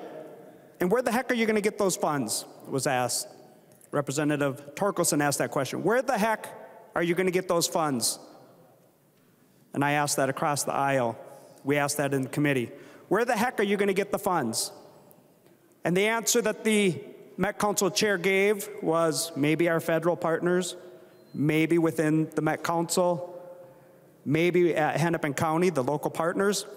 And I appreciated that answer because he left out the state, because we've already put in enough money and taxpayers are done. And I hope he sticks true to that and we don't see a funding request to fill in this amazing, amazing overrun that has nearly tripled the cost of this project. And then in the hearing, I'd like to share with you members that they mentioned that it is disappointing that we are over budget by nearly tripling the cost. Disappointing. I don't think anybody disagrees that it's disappointing that we're over budget and behind schedule. But really, this is embarrassing that as a state, we've spent this much money and we are nearly three times over budget in the cost of that. And it's embarrassing that the Met Council in Hennepin County allowed the project to get to this stage that they are nearly three times over budget. But it's, it is disappointing and it is shameful, or excuse me, it's disappointing and it's embarrassing, but really it's shameful that we didn't take these amendments. Representative from the St. Cloud area objected, ruling an amendment out of order that we should stop all this funding.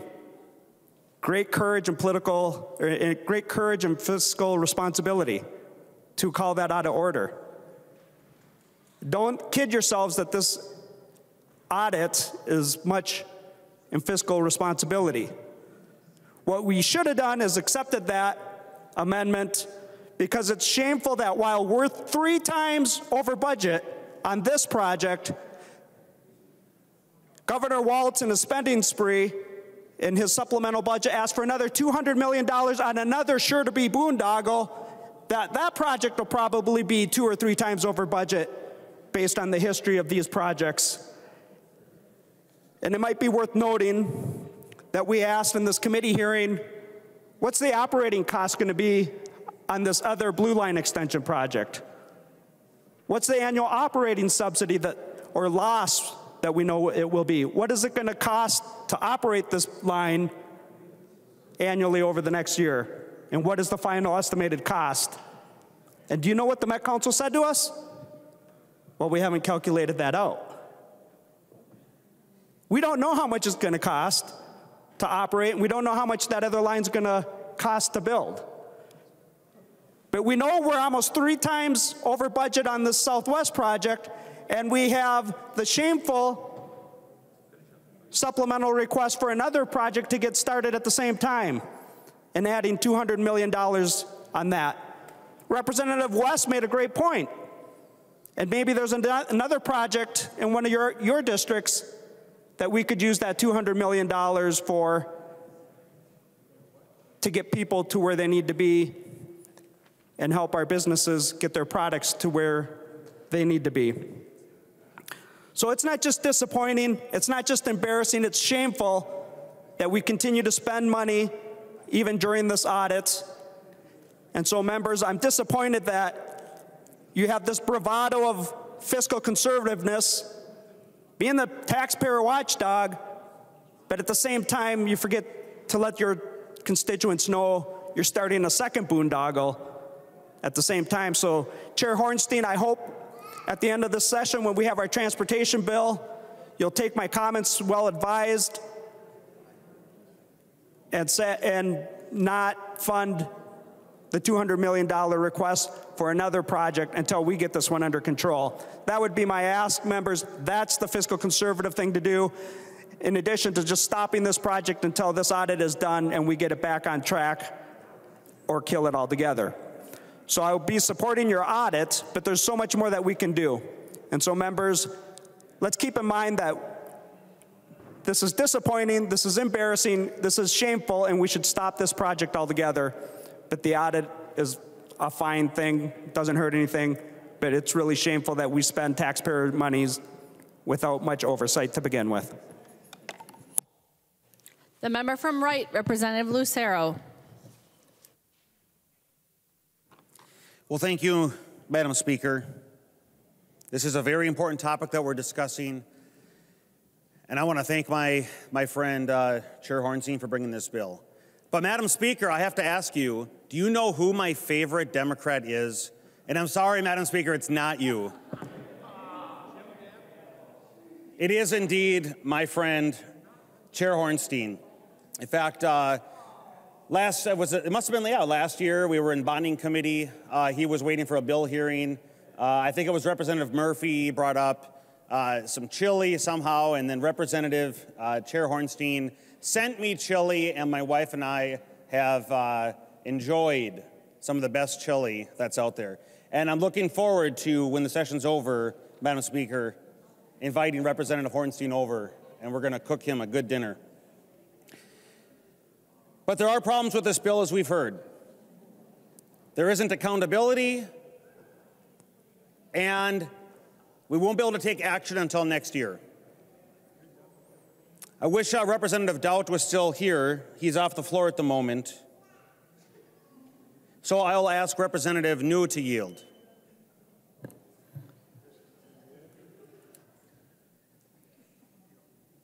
She will yield. Representative Lucero. Thank you, Madam Speaker, and thank you, Representative Neu. I've been here for eight years. We heard remarks that Representative Daudt said that the state is prevented from uh, they're, they're, spending money on Southwest Light Rail. Could you just remind myself and the body who was in the majority when that law was passed? When that law was passed, and who's responsible for saving taxpayers those dollars? The member from Chisago, Representative Neu Brindley. Thank you, Madam Speaker, and thank you, Representative Lucero. Uh, Republicans were taxpayer watchdogs on this. Uh, we made sure, uh, especially after knowing the expenses of the North Star commuter rail, commuter rail I, honestly, I was shocked to hear that today when Leader Daudt pointed out that we could literally lease a helicopter to get people to and from work for what we are paying on the subsidy for North Star Commuter Rail. That was shocking. So thank heavens Republicans did the right thing to protect the taxpayer from the same subsidies on Southwest Light Rail. Representative Lucero. Well, thank you, Madam Speaker, and thank you, Representative Neu, for, for reminding us of that. Leadership of Republicans. And when this report comes back next year, I suspect Republicans are going to be in the majority again to be able to take the wise actions that'll be necessary. Madam Speaker, Representative Daudt referred to writing down his words and putting them in the drawer and save them. But at the rate it's taking and the delays, I think right now it's 2027 and we know it'll be years beyond that. We can't just put those notes in a drawer and pull them out later. We're going to have to put them in a time capsule. In a time capsule. And you know what? The dirt is still uncovered over there in Southwest. We could bury this time capsule in the line that they're, they're currently uh, digging up.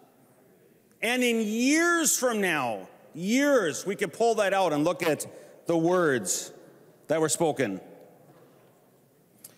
We speak about the cost. Right now, it's two, estimated 2.75 billion. But you know what, Madam Speaker? The 2.75 billion estimated cost doesn't factor in the Democrat tax and spend and Biden inflation. The Biden inflation that's inflicting high prices on hardworking Minnesotans across the state and hardworking Americans across the country are, is the same Biden inflation that's going to drive up the cost of materials as the years tick by to finish this terrible line. So we know that the state is prevented from these cost overruns. And we know that it's already going to take an estimated four to 500 million that Representative Daudt had mentioned. So if the state can't pay for that, who's going to pay for it? Which entity is going to pay for that? And Madam Speaker, it's going to be Hennepin County. It's going to be Hennepin County. And when I say Hennepin County, it's going to be the taxpayers of Hennepin County. And so, Madam Speaker, would Representative Jordan yield for a question? She will yield. Representative Lucero. Uh, thank you, Madam Speaker, and thank you, Representative Jordan, for yielding. This morning in the bonding committee, we had a discussion about lead pipes. And one of the bills that uh, you were speaking about seeks to prioritize concentrations of poverty and opportunity zones, as you mentioned in the committee this morning. And when I asked where some of those are, one of the answers was North Minneapolis. Well, North Minneapolis is obviously in Hennepin County. So, Madam Speaker and Representative Jordan, these cost overruns, hundreds of millions of dollars that are going to be borne by Hennepin County, do you think some of these people that live in these opportunity zones and high concentrations of poverty in Hennepin County should be the ones paying for this? Representative Jordan. Madam Speaker, Representative Lucero, can you repeat the question? Representative Lucero. Thank you, Madam Speaker. High concentrations po of poverty in Hennepin County, should they be paying for the cost overruns? Representative Jordan. Thank you, Madam Speaker, and thank you, Representative Lucero. I'm not familiar with the cost overruns, but I think it's important that pub the public pay for public goods, and transit is a public good, and so all of the public should pay for these public goods. Representative Lucero. Well, thank you, Madam Speaker.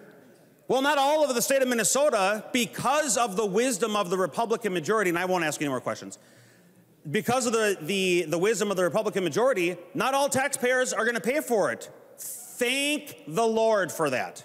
Thank the Lord because of the wisdom of Republican majority. But this cost is going to be paid, and it's going to be picked up. The tab will be picked up by Hennepin County. And it'll be picked up by those residents of Hennepin County, such as North Minneapolis residents, high concentrations of poverty. That's where Democrats are putting the bill. They're putting the bill on those that can least afford it. Madam Speaker, in my research here, I looked at this line. I saw Representative Daudt hold up the one inch It's worth $3,000 right now an inch to construct Southwest Light Rail. Right now, I didn't look it up, but I think Gold Spot, one ounce gold, is trading in the neighborhood of 2,000, 1,900, 2,000 an ounce. So this one inch of Southwest Light Rail is more than an ounce of gold right now. If I had the opportunity, and right now with the Biden inflation, Madam Speaker, do you know what people across Minnesota and across the country are doing to hedge against inflation? The Biden inflation that's being inflicted on hardworking people? They're buying precious metal and gold. But, but, what was that? Yeah, the green line. Yeah, exactly, the green line. But the one inch is worth more than the precious metal that people are paying to hedge against the Biden inflation. So, in the research I was doing, Madam Speaker, I have a map here looking at the where the line goes, and I counted the number of stops, and I'm, I'm, i presume this map is accurate, but I do know that the cost overruns had in the past resulted in having to eliminate some of the, the stops. So this map has 17 stops. There might be more, there might be less at this point. But regardless of the number of stops, according to my research here, in 2000, the Met, this legislature afforded the Met Council the authority, what does it say here? To sell or lease naming rights to light rail transit stations. So these light rail transit stations can have names. And I thought, you know what? I'm going to help the Met Council. I put together some names, some suggested names that the Met Council could name these train stations. So, Madam Speaker, here's just a couple. And I'm not super, I'm not Mr. Creative. I'm sure others could maybe come up with better names, but here's some names that I came up with. One of the stations could be called the Democrat Disaster. We could name another light rail station stop the Walz Waste. We could name another one Met Council Scammers. Madam Speaker, we could call one of the stations the McLaughlin Monstrosity. Madam Speaker, another station could be named the Dayton Reality Denier. Madam Speaker, and this one, I can't take credit for this, Madam Speaker. This one is actually Representative Raleigh's idea. The OPAT, oh no. Madam Speaker, we could call one, actually, there's enough room here, enough train stops to call one the Kenilworth Condo Crumble or, or and the Kenilworth Colossal Failure. Madam Speaker, another one could be called the Slawik Boondoggle. Another uh, stop could be called the Southwest Money Pit. And actually, that one is from Representative West. And when he came up with the name The Money Pit, I thought of the movie The Money Pit, but that's exactly what this is. For those who've seen the movie The Money Pit, where the house is falling apart as he's trying to renovate the thing, that's what this is. The Southwest Light Rail is just causing things to fall apart and flood. And Madam Speaker, here's one last one that I came up with the Dunnick Don't Stop. So, Madam Speaker, I will conclude with this. Unlike Representative West, who's had the honor of serving on the Transportation Committee his entire time in office, I have not. I've had the privilege of serving with Representative or Chair Hornstein on the Transportation Committee only half of my time here in office, four years. And in those four years, this topic had come up numerous times, and one of the testifiers, one of the residents from the Kenilworth neighborhood, came and gave adamant testimony against this project. And I was so intrigued, Madam Speaker, by her testimony, I connected with her afterwards, after the committee, and I went out there so, Representative Hornstein, uh, Madam Speaker and Representative Hornstein, I've been out to, this was before the, even the first shovel of dirt had turned over, and I walked the trail back there. Beautiful area, Madam Speaker and Chair Hornstein. It's a beautiful community back there. Very, very beautiful. Lots of trees, Lots of beautiful trees, and I recall that the, the resident there was very concerned about all the mature trees that were going to be cut down, which I'm sure by this point, I've not been back since then, but I'm sure all those trees are wiped out. I've seen the condo that we've read, the former grain storage buildings that were converted to condos. I've walked right by them. And she expressed the concern. And look what happened. Her concern became reality. And so it's so unfortunate that, that the Democrat majority has just plowed ahead with this hub and spoke model, this out of date 1800s technology rail that has the assumption that people want to come to the center core of Minneapolis. They assume that people in the suburbs want to travel to the inner core to work, hence the hub and spoke model, all these different proposed lines fanning out from Minneapolis to bring people in.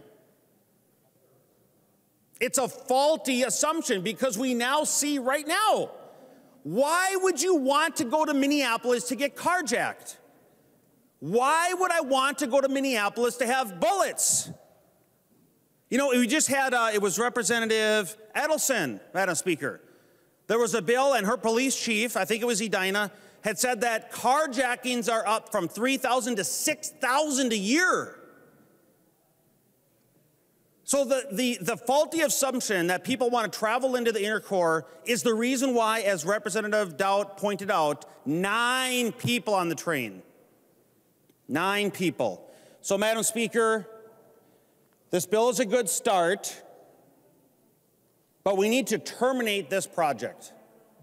It's a boondoggle, it's a waste of money, it's legacy thinking, and it's not something that any taxpayer should pay anywhere. So while I encourage a green vote on this, we need and should do more to stop this terrible waste of money. Thank you, Madam Speaker. The member from Carver, Representative Nash. Thank you, Madam Speaker. Uh, earlier today, I was in the rotunda having my office hours, as I have been lately, and the folks from the History Center stopped by and they gave me a History Matters button uh, because today is History Day. And I thought it was very timely because the history of this project matters. And Representative Hornstein, let me start off by saying thank you for bringing this audit bill. I am going to be voting green. And you've heard Representative Daudt and a few others reference the bill that took the state off the hook. Uh, that's me, so if you want to hate on anybody, that was what well, you do already. But uh, if you want to hate on somebody for this, that was my bill that it's amazing what you can dream up in a deer stand when the deer aren't moving. But I thought then, and it's been confirmed now, that this project was going to be over budget, behind on schedule. It was going to have a lot of problems that some of us were talking about well in advance of it even being where it is today. So then Chair Torkelson, and I think he's here somewhere, there he is. Chair Torkelson, I was super excited. I was in my second term and I thought that we could do everything. And I ran up to him, I said, Paul, I've got this great bill. And he patted me on the shoulder. He said, Well, it's a great idea, but it'll never become law. But thanks to the leadership of the chair and other folks, we got it put into a bill, it got signed into law, and now the state is off the hook. But that doesn't take away from the fact that, that this is a bad project. And I wanted to walk through a few things, and Chair Hornstein, you and I have spoken about this a number of times. This is this is really costing now the Hennepin County taxpayer a lot, but the state was on the hook for quite a bit. But we heard things leading up to really the a little bit after kickoff of this project that it was going to have implications that had not been thought about. So, Madam Speaker, if the chair would yield to a question. He will yield. Representative Nash. Thank you, Madam Speaker. Ms. Uh, Chair Hornstein, you and I were on, I believe, the uh, subcommittee on metropolitan governance. We had a meeting over in the Taj Mahal, I mean the Senate office building, and we were listening to testimony about the condominiums that we now have seen in the news. But my question is, what was the message that we were getting in that meeting very, very clearly from the people who were living along those lines as they were trying to do the various pile drivings that they were doing. Representative Hornstein. Uh, Madam Speaker, uh, Representative Nash, yes, um, I had carried legislation several times uh, dating back five years ago uh, out of uh, a lot of concern um, for uh, the people that live there and the accountability that they need and deserve. And um, I think right now we're seeing that they, and as others had predicted, there would be problems. Representative Nash. Thank you, Madam Speaker. And Chair Hornstein, thank you for that. We sat in that meeting and we heard from not just the residents, but they had gone to the trouble, and I believe they hired a, a couple of different geotechnical engineers. Uh, I think that's right, Chair Hornstein. And they had, they had brought us lots of information. They said, if we do this, this is what's going to happen. And a lot of us that were on that commission and in that meeting, we raised our hands and we said, we should slow this down before we can actually vet, so we can vet this out. We were told by the Met Council, no, no, no, it's fine. It's going to be fine. Everyone's going to be happy. We can do this. Fast forward to recent times, recent months, and we found out that the residents and their geotechnical engineers were spot on. That these townhomes, these condominiums, are now looking at major structural damage. And we don't know what the outcome of that is, but it, it could mean that they're not able to inhabit their townhomes anymore if it's uh, worse than, than we, we've heard. So, in the name of this project that we have been talking about for a very long time, being perhaps unnecessary at best, they are now disrupting people's lives. That cost is going to be, be borne by somebody if we have to pay people out for the loss of their home or the mitigation of the problems that are going along with it. And Chair Hornstein and Madam Speaker, if he would yield. He will yield. Representative Nash. Thanks.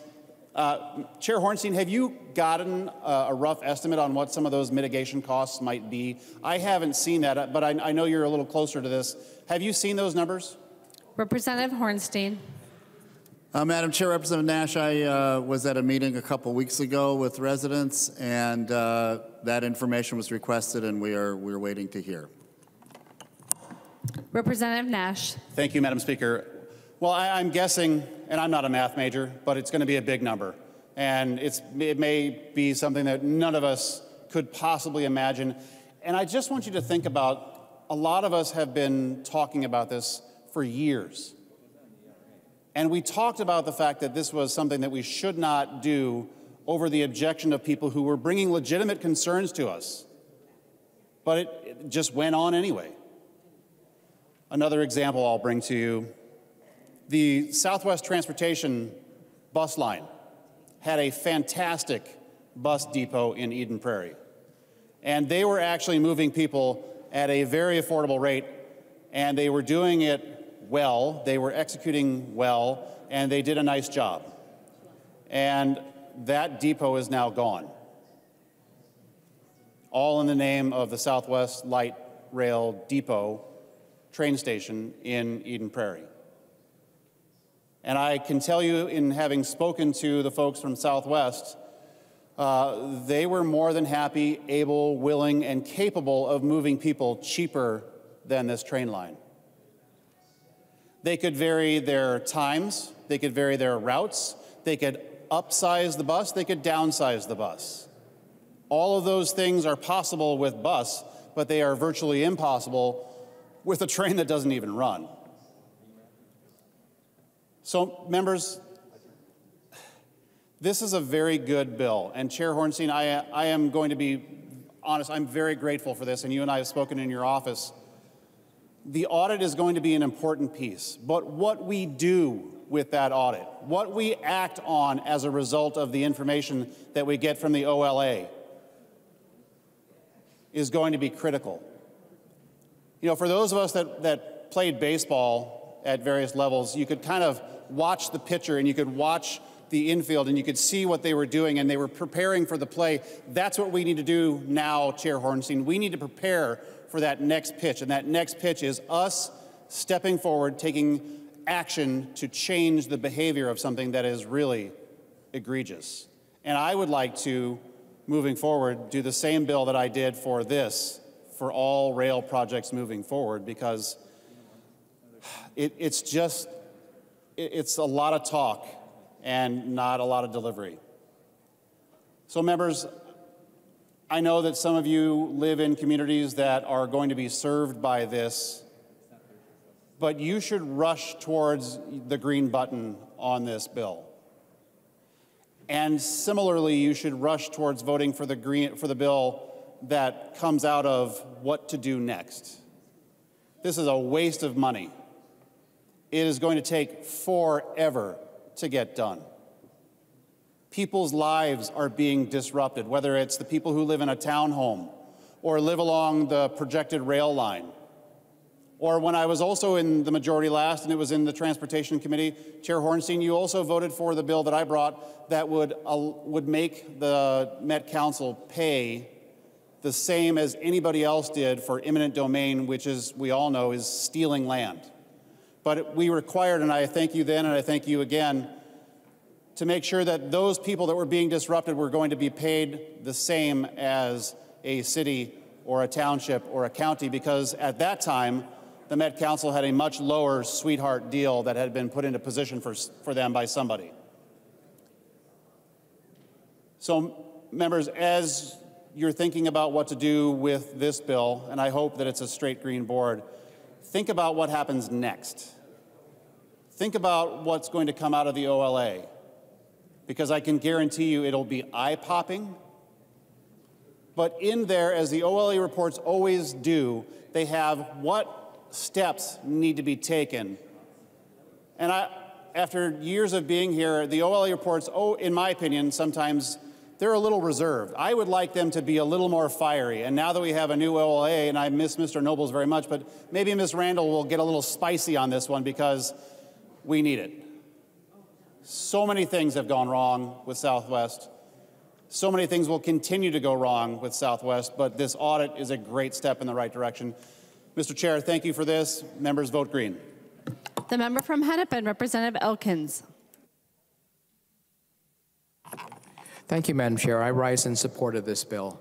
Right now, we're paralyzed by an epidemic of finger pointing, but by commissioning this report from the OLA to conduct an impartial analysis of how we got here and what we will be, we will be provided with the information that we need to avoid repeating the mistakes that have gone put us in this position and will establish a solid baseline for the project going forward. We are, let's make no bones about it, past the point of no return on this project. The project is 60% complete, and it would cost us more to stop the project at this point than it will to complete it. We will have to repay $900 million that the Feds have, uh, Feds have uh, fronted to us to, to construct this project, and we would have to deconstruct everything that has been built already and restore the line to its original condition. The cities along the line have already invested millions of their own taxpayer dollars in new redevelopment projects adjacent to the stops around the route that are worth hundreds of millions of, of dollars.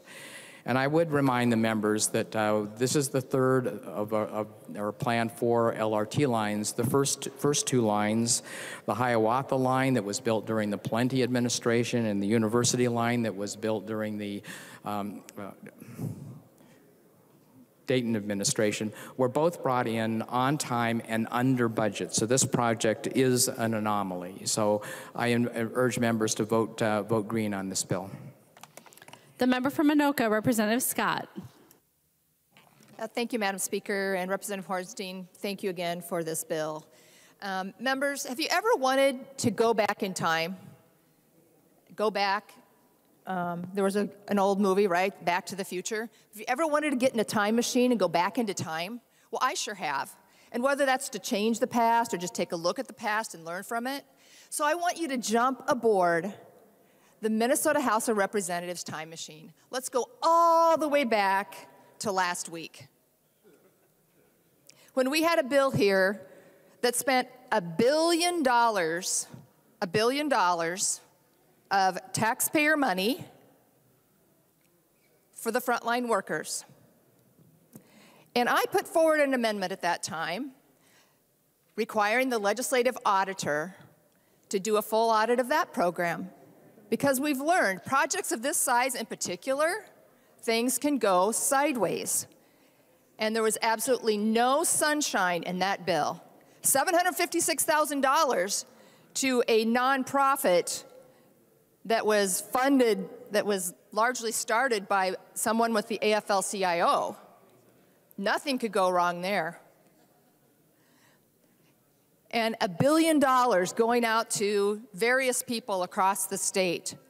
Maybe some were going to be able to double dip. Maybe some were going to get money somehow that was in their dog's name. We don't know. But I just find it so interesting that the other side of the aisle is all gun ho on this bill for a legislative auditor, the legislative auditor to do an audit. But just last week, they refused to do the same on a, on a project or on a bill that was about half the cost of this one so far. So members, let's, let's be consistent. Let's learn from history. Let's, let's not repeat it. But let's not be hypocritical either. Thank you, Representative Hornstein. I'll be a green vote. The member from Hennepin, Representative Hertaus.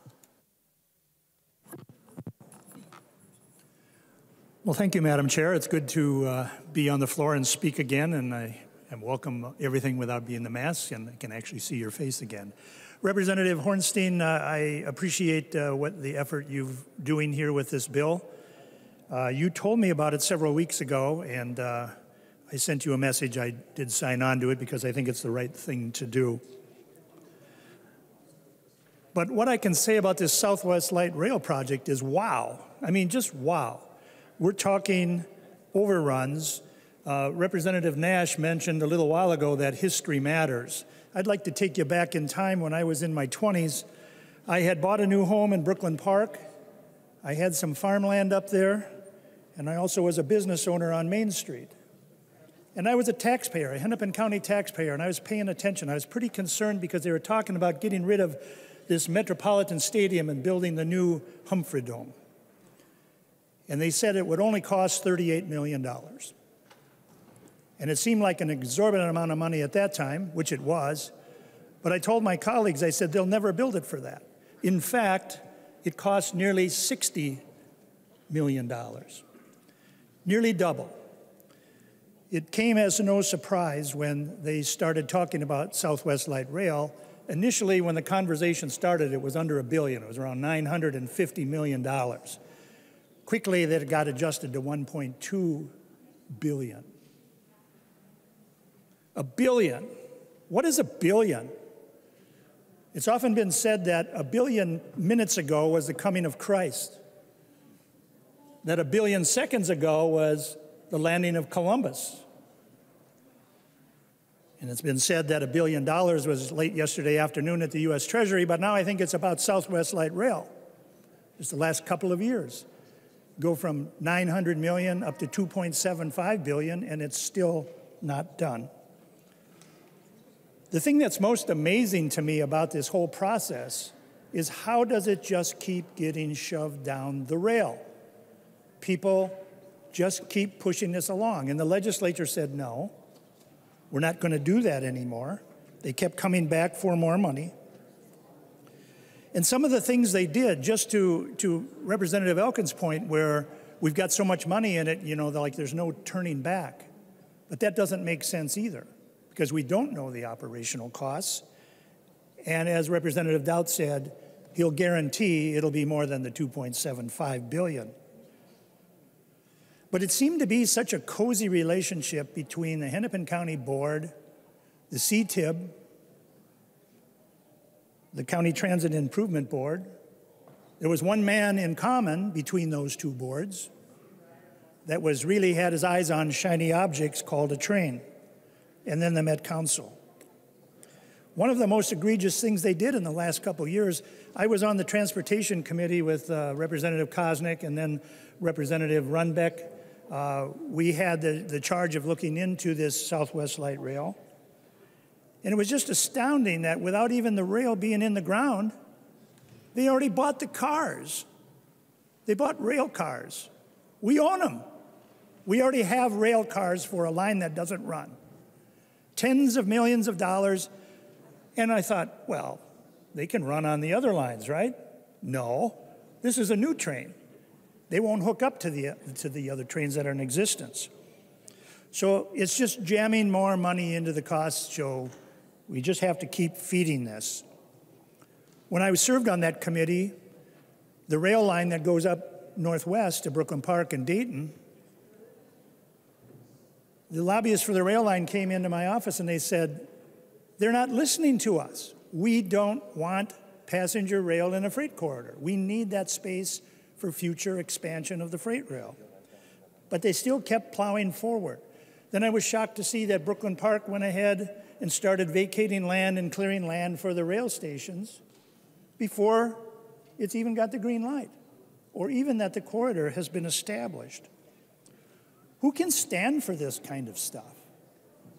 Who's really in charge? I mean, that's what's so astounding, and that's what really gets the taxpayers agitated. You know, members, 97.5% of all ridership is on cars and buses.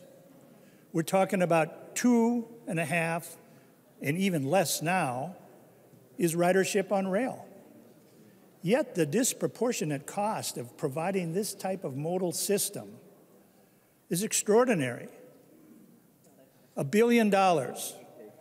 At a million dollars a lane mile, that's a thousand miles of lane in the metro Twin Cities. How far is it from Wright County to Hudson? Probably about 60 miles. Think about that.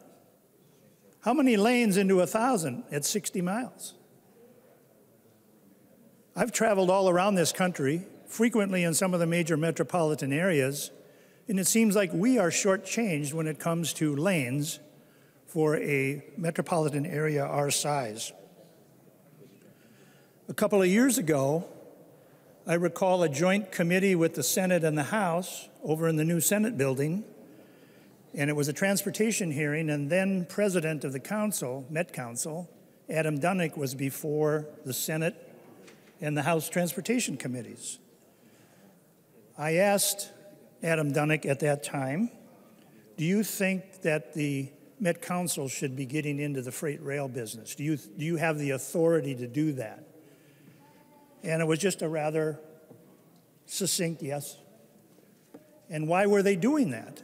Because Kenilworth was the only corridor they could figure out, and then the little light line there didn't want anything to do with having co-location of passenger rail in that tight little corridor. So what did they do? They bought them out. They bought the rail line, and so now Hennepin County owns the rail line. We're in the freight business too, folks.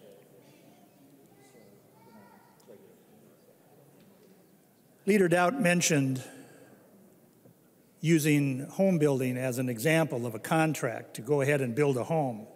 And I can assure you in the private sector, if somebody's going to sign on the line and is going to promise to deliver a house in 90 days, they're going to damn well know what the cost is before they sign that purchase agreement because they made a contract to deliver a product on a certain time.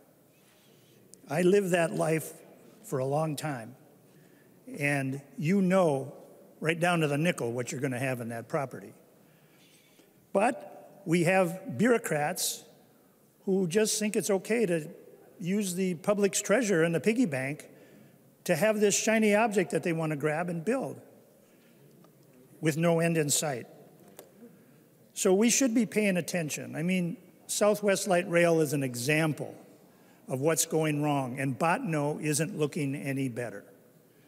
And so this audit, Chair Hornstein, is most welcome. It doesn't have the teeth we'd like to see in it, but it is the first step. We need to do that. And we need to learn from these mistakes and maybe throttle back and hold back on some of this expansion of light rail. So with that, members, I urge a green vote today on this uh, piece of legislation. It's the right thing to do, but we have to be paying attention. We thought we got out of the light rail business at the state legislature, but they're going to keep coming back. They're going to keep looking for bailouts. Bottineau is going to be no different, and we really ought to be responsible and be accountable to the taxpayers of Minnesota. So with that, Chair Hornstein, thank you very much. The member from Anoka, Representative Heinrich. Thank you, Mr. Speaker. Members, I know we've been here for a while. It's been probably a long day already for, for some of us. Um, I'm personally looking forward to eating some food here soon, and I hope to maybe see some other members over at uh, the Kelly or the Radisson here later and share, share a meal, and we can continue this conversation because it's an important one. Uh, members, uh, Mr. Speaker, my, my fear here, my concern is that we're kind of in a worst case scenario moment where you have um, people spending money that's not their money on a product that they also don't use. I think we saw a couple hands of somebody that, a couple maybe that uses the product, but uh, whenever you're evaluating something's efficiency and benefit and um, you know whether or not the dollars are being used wisely, uh, generally you get further away from that efficiency when you're using other people's money and you don't even use the product. So you lose quality and you lose efficiency. So that's my fear here that we're, uh, we're kind of going down that, that track. Uh, Mr. Speaker, will uh, Representative Chair Hornstein yield for a question? He will yield. Representative Heinrich. Thank you, Mr. Speaker. And Representative Hornstein, I, I'm looking through the bill, and there's a lot of things I like in here. Evaluate whether Metropolitan Council's posting, interviewing, hiring process for internal staff resulted in qualified and competent project management personnel. That's an important one. We should make sure that the people that were hired, um, you know, hopefully they check the box of competency, not, not some kind of equity box. Hopefully that's the issue. If you're going to go in for surgery, you want the doctor to be competent you know, hopefully it wasn't looked at through a, a lens of, of equity, so I think that would be a good one to audit. But, Mr. Chair, I'm, I'm concerned that maybe that's not going to get audited because prior to that, and on uh, one, line 1.15, the legislative auditor is only encouraged to. And so my question, Chair Hornstein, is why is, the, why is there permissive language in we're just encouraging these things? I see lots of other ones in here that I like as well um, whether or not the vendors and contractors are adhering to established safety standards, practices, but I guess the auditor doesn't have to have to do those things. They're just encouraged to. And then, Mr. Chair, there's no reporting actually required that I see in this bill. So I'm going to vote for this today because I think it's good and we need that audit. Uh, but I'm a little concerned about the permissive language. I was wondering if you could give us some insight on um, on how that works and, and why we're not uh, requiring some of these really important questions uh, about safety, about how people are hired, what the process is, about change orders. Um, thank you, Mr. Chair. The member from Hennepin, Representative Hornstein. Uh, thank you, Mr. Speaker, and thank you for the excellent question, Representative Heinrich. And it, it gives me an opportunity to uh, clarify a very, very important point here. Uh, members, what we're doing is unusual because the scale and scope of this issue is a bit unusual, as many have pointed out. So we have to walk a line, a fine line between mandating things that the auditor should examine and making, uh, advising and making suggestions. Because we don't do this often at the legislature. But I took this unusual and relatively unprecedented step because of the magnitude of this issue. I am very confident, Mr. Speaker and Representative Heinrich, that this is sort of an outline, if you will, for topics that we can come together on and identify. Uh, the auditor will look at these, I am confident. Secondly, Representative Heinrich, and, uh, Mr. Speaker and Representative Heinrich, every one of these audits has recommendations every one of these audits actually uh, often will give specific direction to the legislature on how to address these. So we will be getting objective and actionable advice through this audit. And I am very confident that these 17 very specific things that we have brought up will be examined in this report. The member from Anoka. Representative Heinrich. Thank you, Mr. Speaker. And will the uh, chair continue to yield? He will yield, Representative Heinrich. Thank you, Mr. Speaker. So, Chair Hornstein, I'm wondering if, if in theory the auditor chose, uh, because it's permissive, they're encouraged to evaluate whether Met Council's interviewing process, hiring process for internal staff resulted in qualified and competent project management personnel.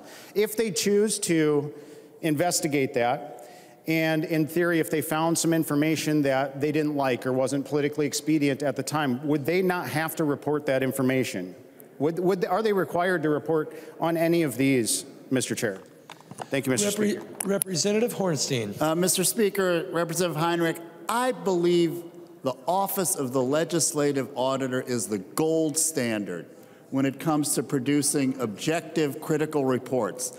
That uh, uh, and, and objective reports that may be critical of agencies and uh, uh, departments within state government. That's what we have charged them to do as legislators. They work for us. They don't work for the agency. They don't work for the private sector or any of the, the uh, entities that they investigate. So they'll come up, I, I'm very confident that they will come up with a strong, objective report. Uh, they will leave no stone unturned in this investigation.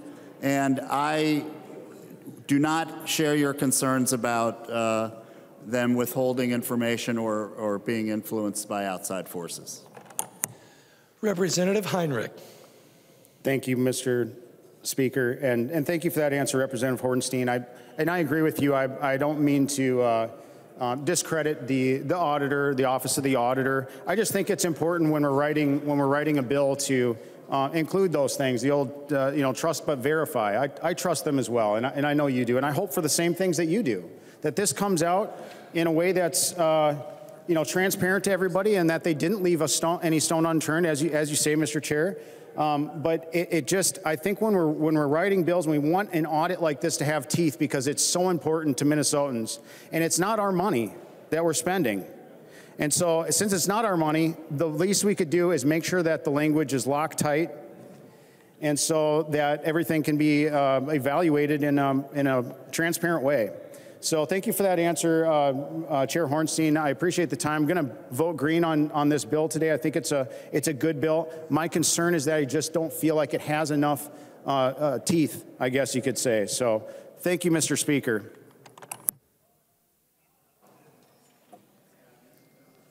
The member from Hennepin, Representative Kotyza-Witthuhn.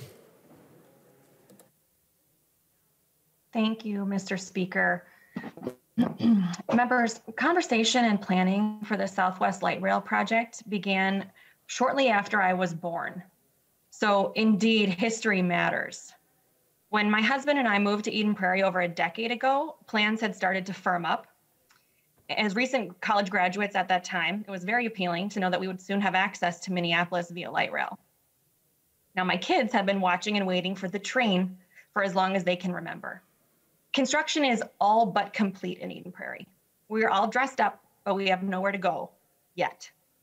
All this to say, I know the delays of this project well. Although today we're simply focused on this audit as a measure of good governance, transparency, and accountability for taxpayer dollars, I would like to briefly address the comments that we've heard today about defunding transit and share my community's support for this project.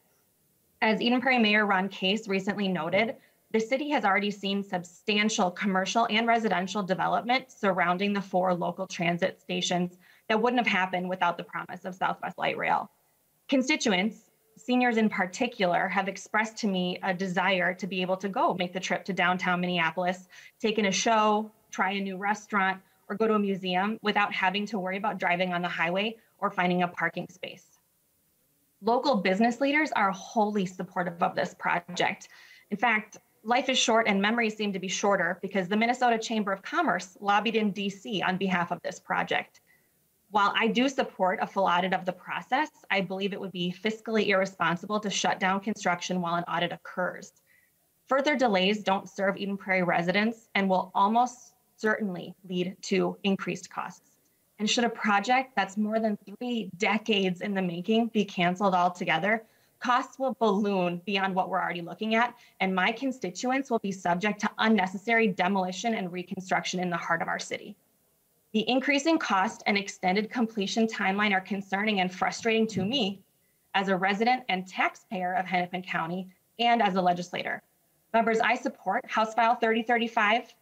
A full audit will allow all involved to learn what's happened here and to help prevent future issues. Minnesotans deserve a comprehensive transportation system, and it's essential that we work together to deliver those projects in the most timely and cost effective manner possible. Vote green. Thank you. The member from Waseca, Representative Petersburg. Uh, thank you, Mr. Speaker. And first, uh, uh, Chair Hornstein, thank you for carrying this bill. You know, I'm co-author on it, and I've appreciated working uh, with you on it. Uh, it. Certainly, this bill has given us an opportunity to talk about the, the merits of light rail versus bus, et cetera, and whether or not we should or shouldn't. But that's not the real reason why I think this bill is, is worthy of our support.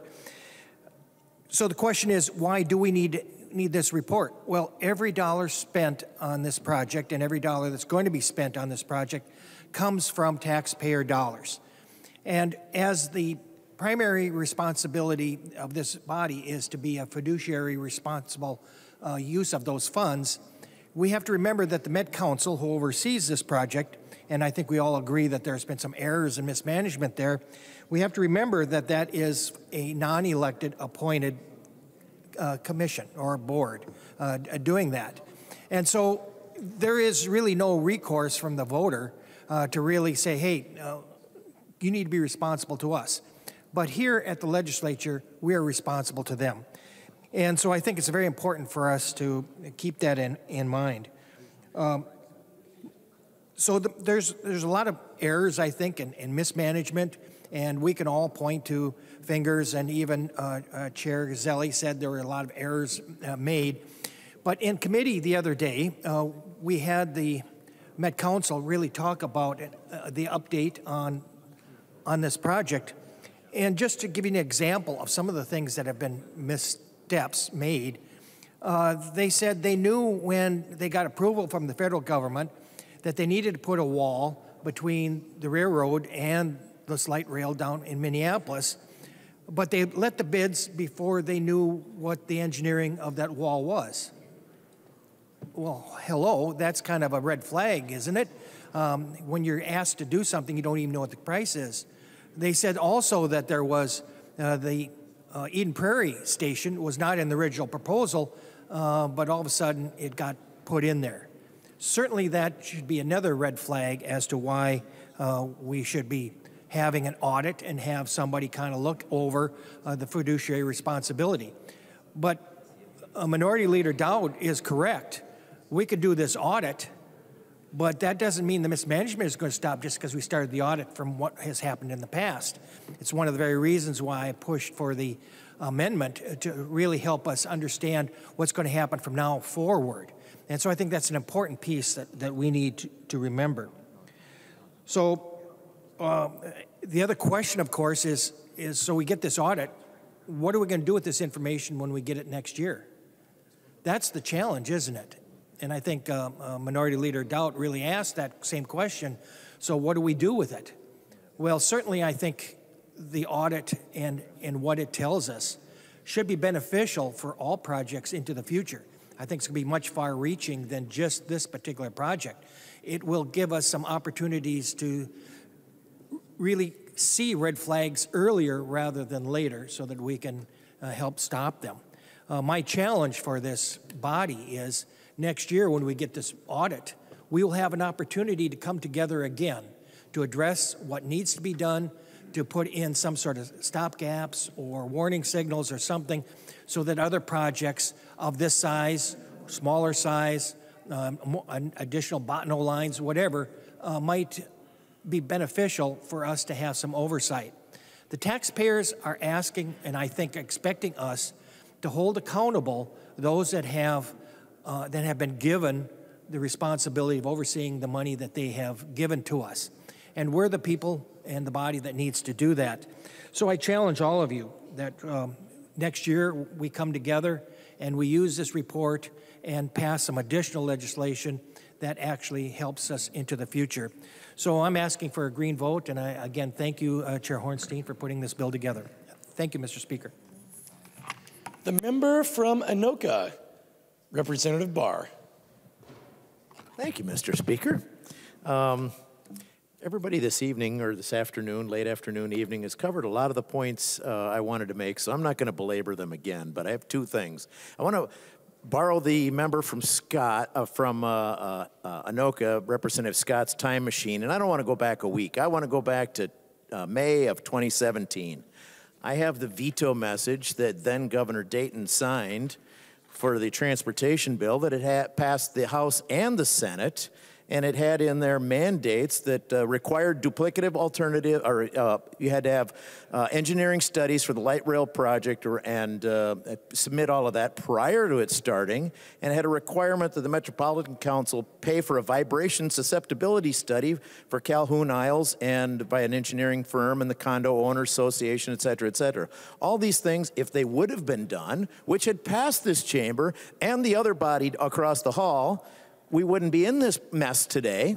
Yes, thank you, Representative Hornstein. You knew that this would be a problem. It's your backyard. So, yeah, I am going to be voting for the uh, bill today, but there's a few other things that should be mentioned along here that we tried, we saw this was a problem, and we tried to prevent it ahead of time, and now we're going to end up paying exorbitant amounts of money.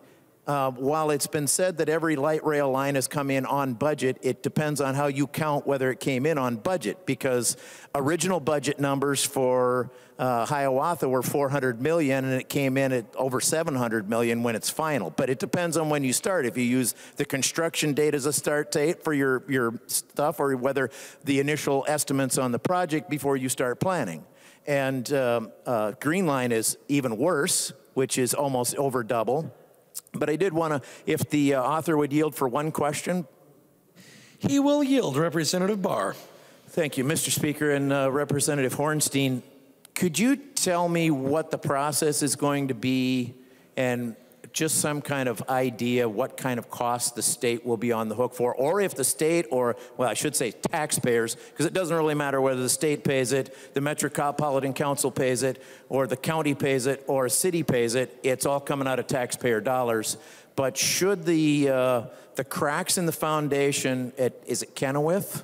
Uh, the, the, where the foundation things, uh, the pillars, where they're building that tunnel now, if that comes back and the building gets condemned, Who's paying the bill, and do you have any idea of all of the ramifications on that? The member from Hennepin, Representative Hornstein. Uh, thank you, Mr. Speaker. Uh, thank you, Representative Barr. And uh, yeah, you, you reminded me that I got vetoed uh, five years ago. Uh, we did a vibration study. It's called the Calhoun Isles uh, condominiums. Um, you know, this project is funded, and again, Representative Nash, because of your legislation, uh, is funded by the federal government in Hennepin County.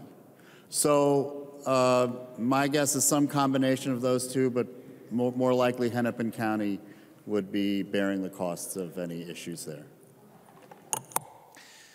Representative Barr. Would uh, the author yield for another question, please? He will yield, Representative Barr.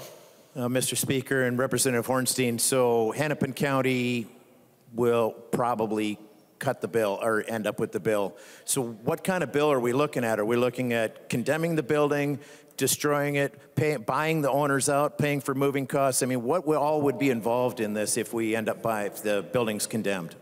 Representative Hornstein. Mr. Speaker, Representative Barr, that's speculative. We're not at that place right now. Um, you know, the, there is no construction on the in the area happening at this time uh, because of the issues that have been identified. Uh, so um, I don't know if anyone has done that study. Uh, there is a cost benefit and a broader cost benefit analysis in this bill, um, but I, I, can't speculate on, on those costs other than that um, there, there is a lot of concern in that building. I'm in frequent contact with the residents. Representative Barr. Thank you, Mr. Speaker, and thank you for, to the author for yielding. Um, if we have to buy that out and move those people, or we have to move the light rail line to somewhere else. Either way, it's an, a, just a ridiculous amount of money that we got to put on top of this. All of things that could have been prevented if we would have actually gotten the things signed into law, the last little hurdle, which I, I remember because most, many of us were on the chamber at the time, that was a very partisan veto. Um, you know, I, I realize that this is this is a body made up of politicians, and politics is done all the time. It's played all the time. But every once in a while, we do swerve into right, is you know, goes across the aisle, and this is something that should have been done to prevent absorbent waste of taxpayer dollars, because it really doesn't matter whether it comes out of Hennepin County's pocket or the federal government's pocket. It's coming out of a taxpayer pocket, and it's just a matter of which which which pocket we're going to pick at the time when it comes around. So, yes, I will be voting for this. Uh, one, one last point. Uh, let's, and this has kind of been hit on a couple of times. Would uh, Representative West yield for a question? Representative West, will you yield to a question? He will yield, Representative Barr. Mr. Speaker and Representative West, could you tell the body how many times do you believe that uh, the study for fixing Route 65 or adjusting traffic on Route 65, is, Highway 65, through your uh, city has been done before? The member from Anoka, Representative West. Since 2009, three times that I'm aware of. And we're finally getting work done now. Representative Barr. Thank you, Mr. Speaker. So it's three studies and we're doing another one now, or three studies have been completed and we're starting construction now? Representative Barr, are you asking Representative West if he'll yield Sorry, for another Mr. question? Sorry, Mr. Speaker, will he yield for another question? He Clarify. will yield. Representative West. The third one counts, the one uh, we passed into law in 2017. Representative Barr. Thank you for the clarification, Representative West. So I'm hoping that this is not another one of those we have to have three studies of we got problems before we actually put a shovel in the ground and engineer a so- solution to the problem. But uh, with that being said, I, I, and I think everybody in the chamber is probably going to be voting yes on this today, so thank you. The member from Hennepin, Representative Youakim. A little out of practice, Mr. Speaker. Thank you. Um, I rise to support House File 3035, an audit of the extension of the Green Line known as Southwest LRT. What we can learn from this audit will help us learn where we've been, what needs to improve, and how we can find efficiencies as we build future projects. And I appreciate our colleagues of both sides of the aisle who've kept their comments focused on the importance of an audit. Southwest Light Rail is an integral part of the build out of a multimodal transit system that includes LRT, BRT, arterial lines, and bus services. Fixed lines like LRT and BRT increase economic development and enhance the communities that they travel through. And just a reminder the North Star, that's a heavy rail line. LRT and BRT are subsidized to the tune of under a dollar point sixty cents a ride. That is data driven, not back of the napkin math. The 14.5 mile route has already seen $2 billion of investment and development along the line, which not, would have not happened without Southwest LRT. This project has also brought many jobs in the metro area and beyond. 65 out of our 87 counties have folks that are bringing home paychecks because of the construction along this line. I am not ashamed of the work our women and men in the construction trades have done on this project. The Southwest Metro is the largest growing job sector in the metro area. That is why our regional chambers have supported this project and why many employers and employees in our communities are counting on it. While I support this audit, it is important to note that construction must continue as audits being done. Stalling construction would only cost more money. And for those of you calling for stopping the project altogether, that would be fiscally irresponsible. This project is 65% constructed. We've received money from the federal government we would have to pay back, money that wouldn't have even come in our state without this project. The full funding grant agreement would require us to put back the areas along the line to their original status. That would mean tearing down bridges, retaining walls, grade separating tunnels, pulling down constructed stations and track that's already been laid. That would not only cost more money, but there would be no funding stream to do this. And it could lay the state open to lawsuits for broken contracts. Members, the audit is a very prudent thing to do. And trust me, I'm as frustrated with the delays and increased costs as anybody since I've been working and talking about this project for 16 years. My constituents are disappointed too. But there is also still strong support from our communities and those of us whose taxes are paying for this line. Finally, I would offer to host any of you to come to the communities of Hopkins and St. Louis Park to see what this project has meant to our community. Thank you for your attention, members. Vote yes on the audit. The member from Olmsted, Representative Quam.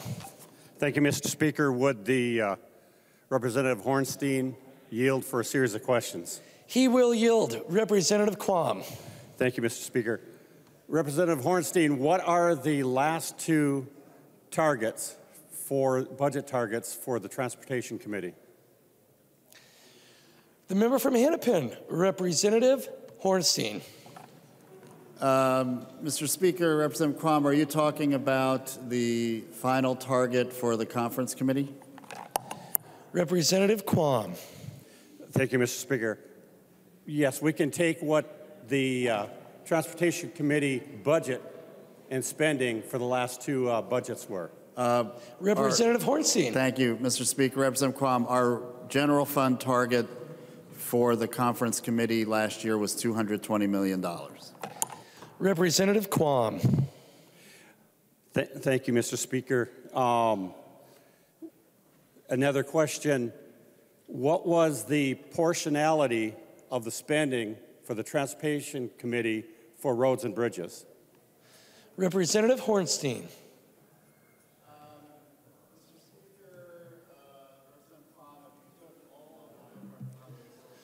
Representative Hornstein, we can't hear you. Sorry, I think we have a technical issue. Thank you, Representative Lillie.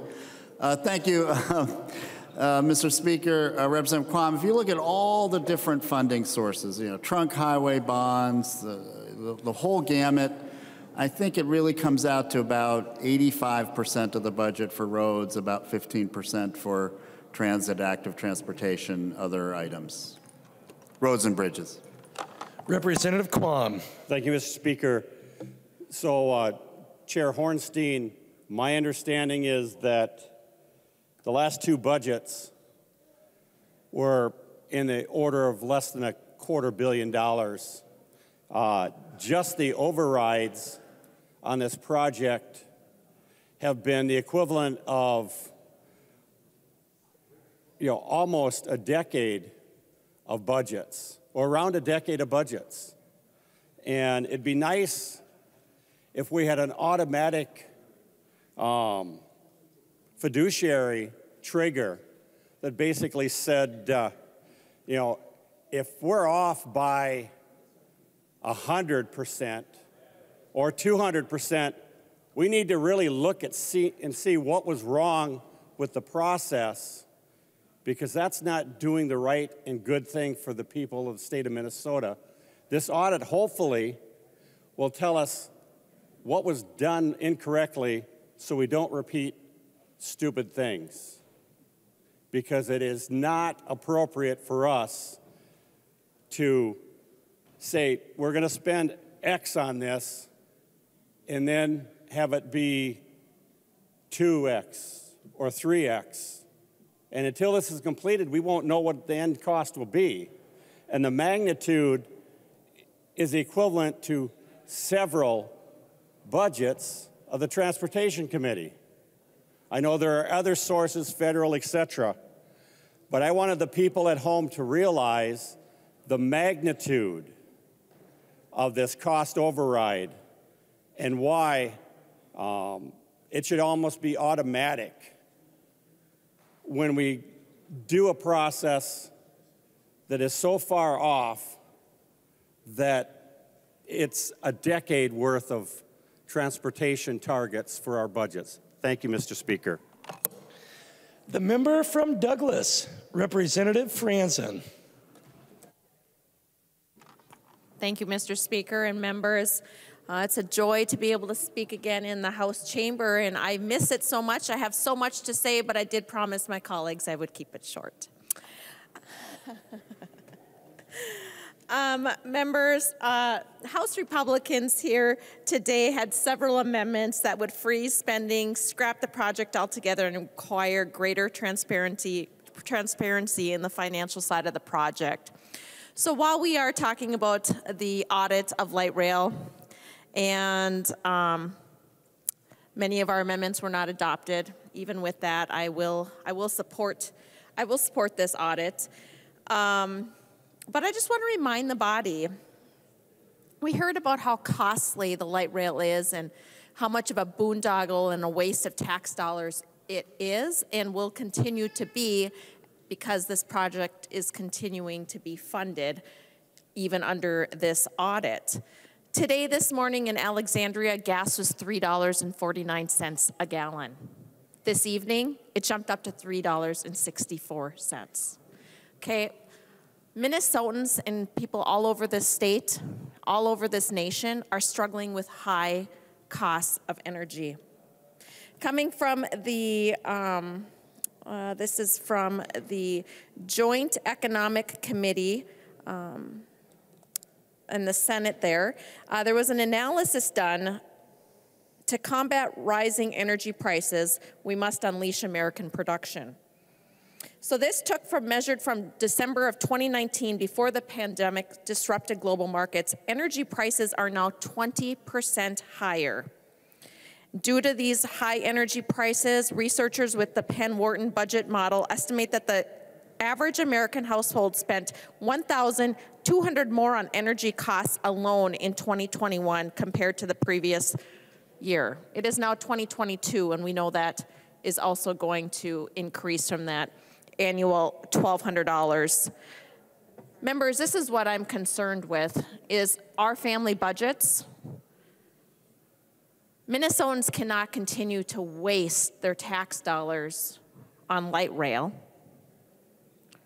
when they are trying to figure out how they're going to put gas in their car so they can go to work to put food on the table. So while, we're, while, we, while we continue this session discussing light rail and the pros and the cons of it, I also want to remember that there are taxpayers, our constituents, that are asking themselves, why are we wasting all kinds of money on light rail when it's harder for them to pay their heating bill, put gas in their, in their vehicle? And eventually I can see this body coming together to put more money into the heating assistance program so that they can pay their overdue and late heating bills. Members, we have got to start looking at the big picture here. And while it may not be popular in your mind to end the light rail subsidies and building of that, we also have to look at what's best for our constituents and what's best for their wallets. Thank you. The member from Hennepin, the author of the bill, Representative Hornstein. Uh, thank you so much, Madam Speaker. Thank you, members, for a good debate. Um, I just wanted to uh, reiterate in conclusion how important and precedent setting this audit is. And I want to respond. I think there were some very constructive comments from the other side of the aisle. I especially appreciated Representative Petersburg's comments, Representative Nash's comments. But there were others that were a bit uh, cynical about the legislative auditor and comments that this has no teeth. Members, we are directing the legislative auditor to do 17 separate critical items.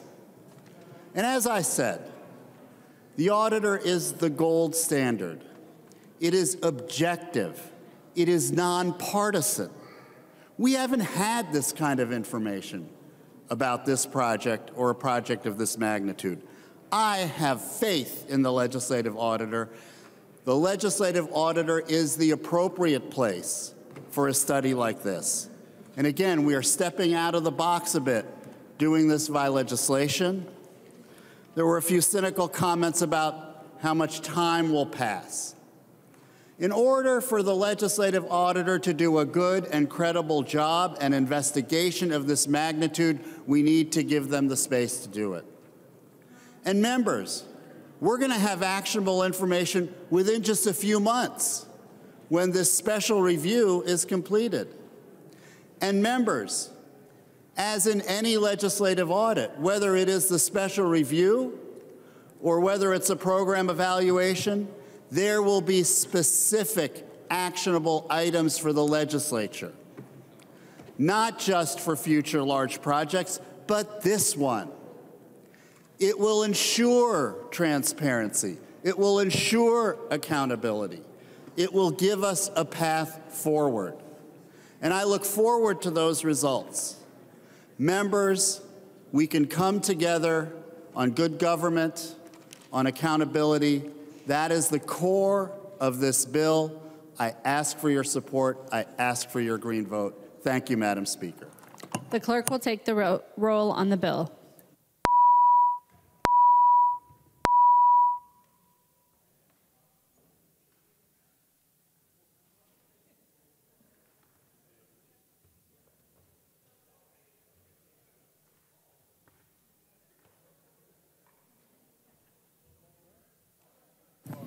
Members, please vote.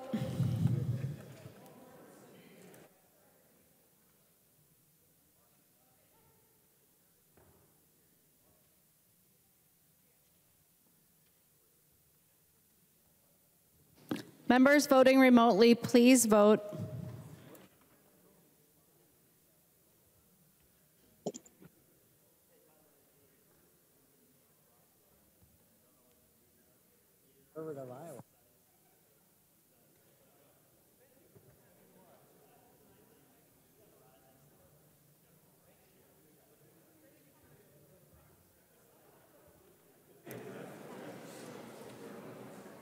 Can we sell this system to people all over the country and make money?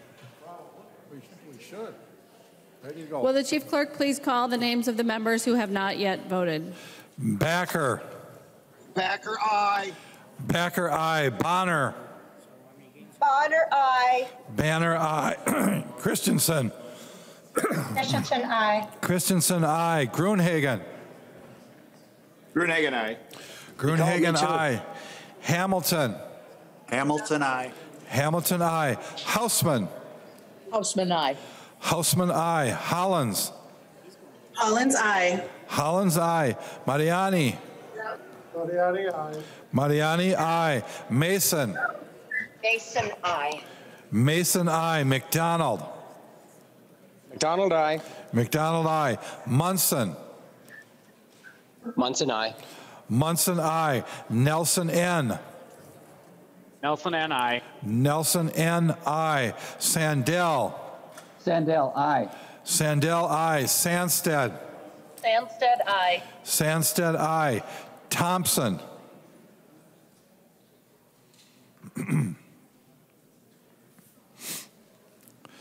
Thompson.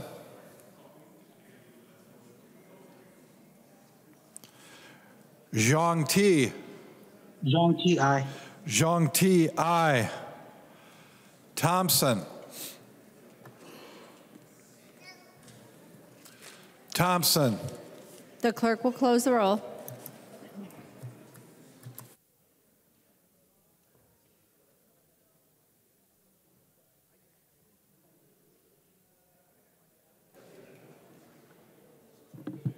There being 129 ayes and one nay, the bill is passed as amended and its title agreed to.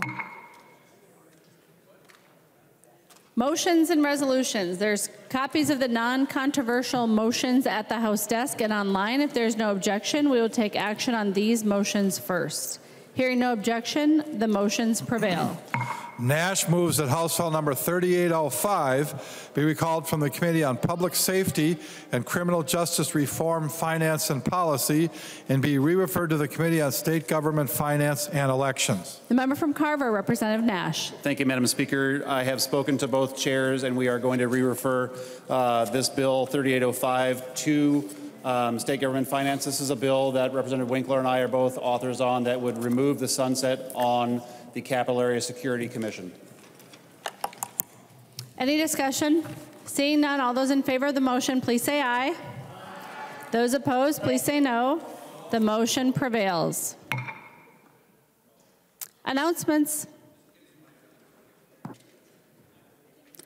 The member from Mahnomen, Noman, yes. Representative Green. Thank you, Madam Speaker. I would ask for a moment of silence tonight for the former tribal representative for the White Earth Nation, Kathy Goodwin. Uh, over the years, Kathy worked for the people of White Earth in various capacities. She began in conservation court, and through there, she established the White Earth Motor Vehicle Department, exercising regulatory authority over motor vehicles, and even designed the White Earth uh, license plate in the 1990s. She also worked in the tribal court before her service of elected uh, office came in 2014. Kathy passionately served the people of White Earth Nation as District 2 representative from 2014 to 2021. And then she took a step back uh, that year to focus on her own health. Kathy was always about the people. She was a caring individual who was ready to lend a hand when and wherever needed. She was the voice of many, often speaking her mind, but always determined to get things done. Kathy can be credited for many positive things being accomplished on the reservation and especially Naytahwaush. She was on numerous boards and chaired many activities, too many to list. When Kathy wasn't volunteering, she enjoyed cooking, baking, gardening, sewing, and she liked classic movies, but mostly she loved spending time with her family. She will be greatly missed by everyone who was lucky enough to know her. Services for Kathy will be at 7, or excuse me, will be at 11 o'clock on Friday, this Friday, at uh, the Naytahwaush Sports Complex. So if I could get a moment of silence for Kathy Goodwin. Members, please rise for a moment of silence.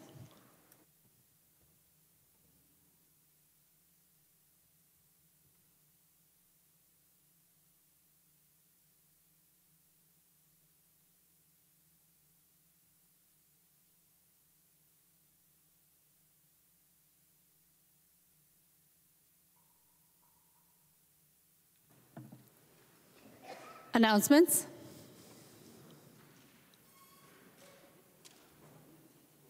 Lots of people standing, but probably nobody who wants to make an announcement.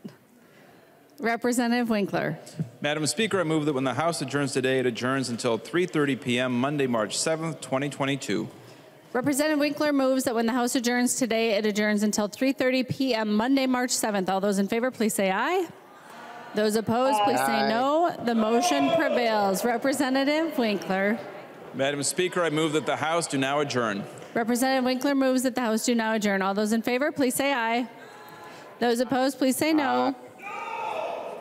The motion prevails. The House stands adjourned until 3:30 p.m. Monday, March 7th, 2022.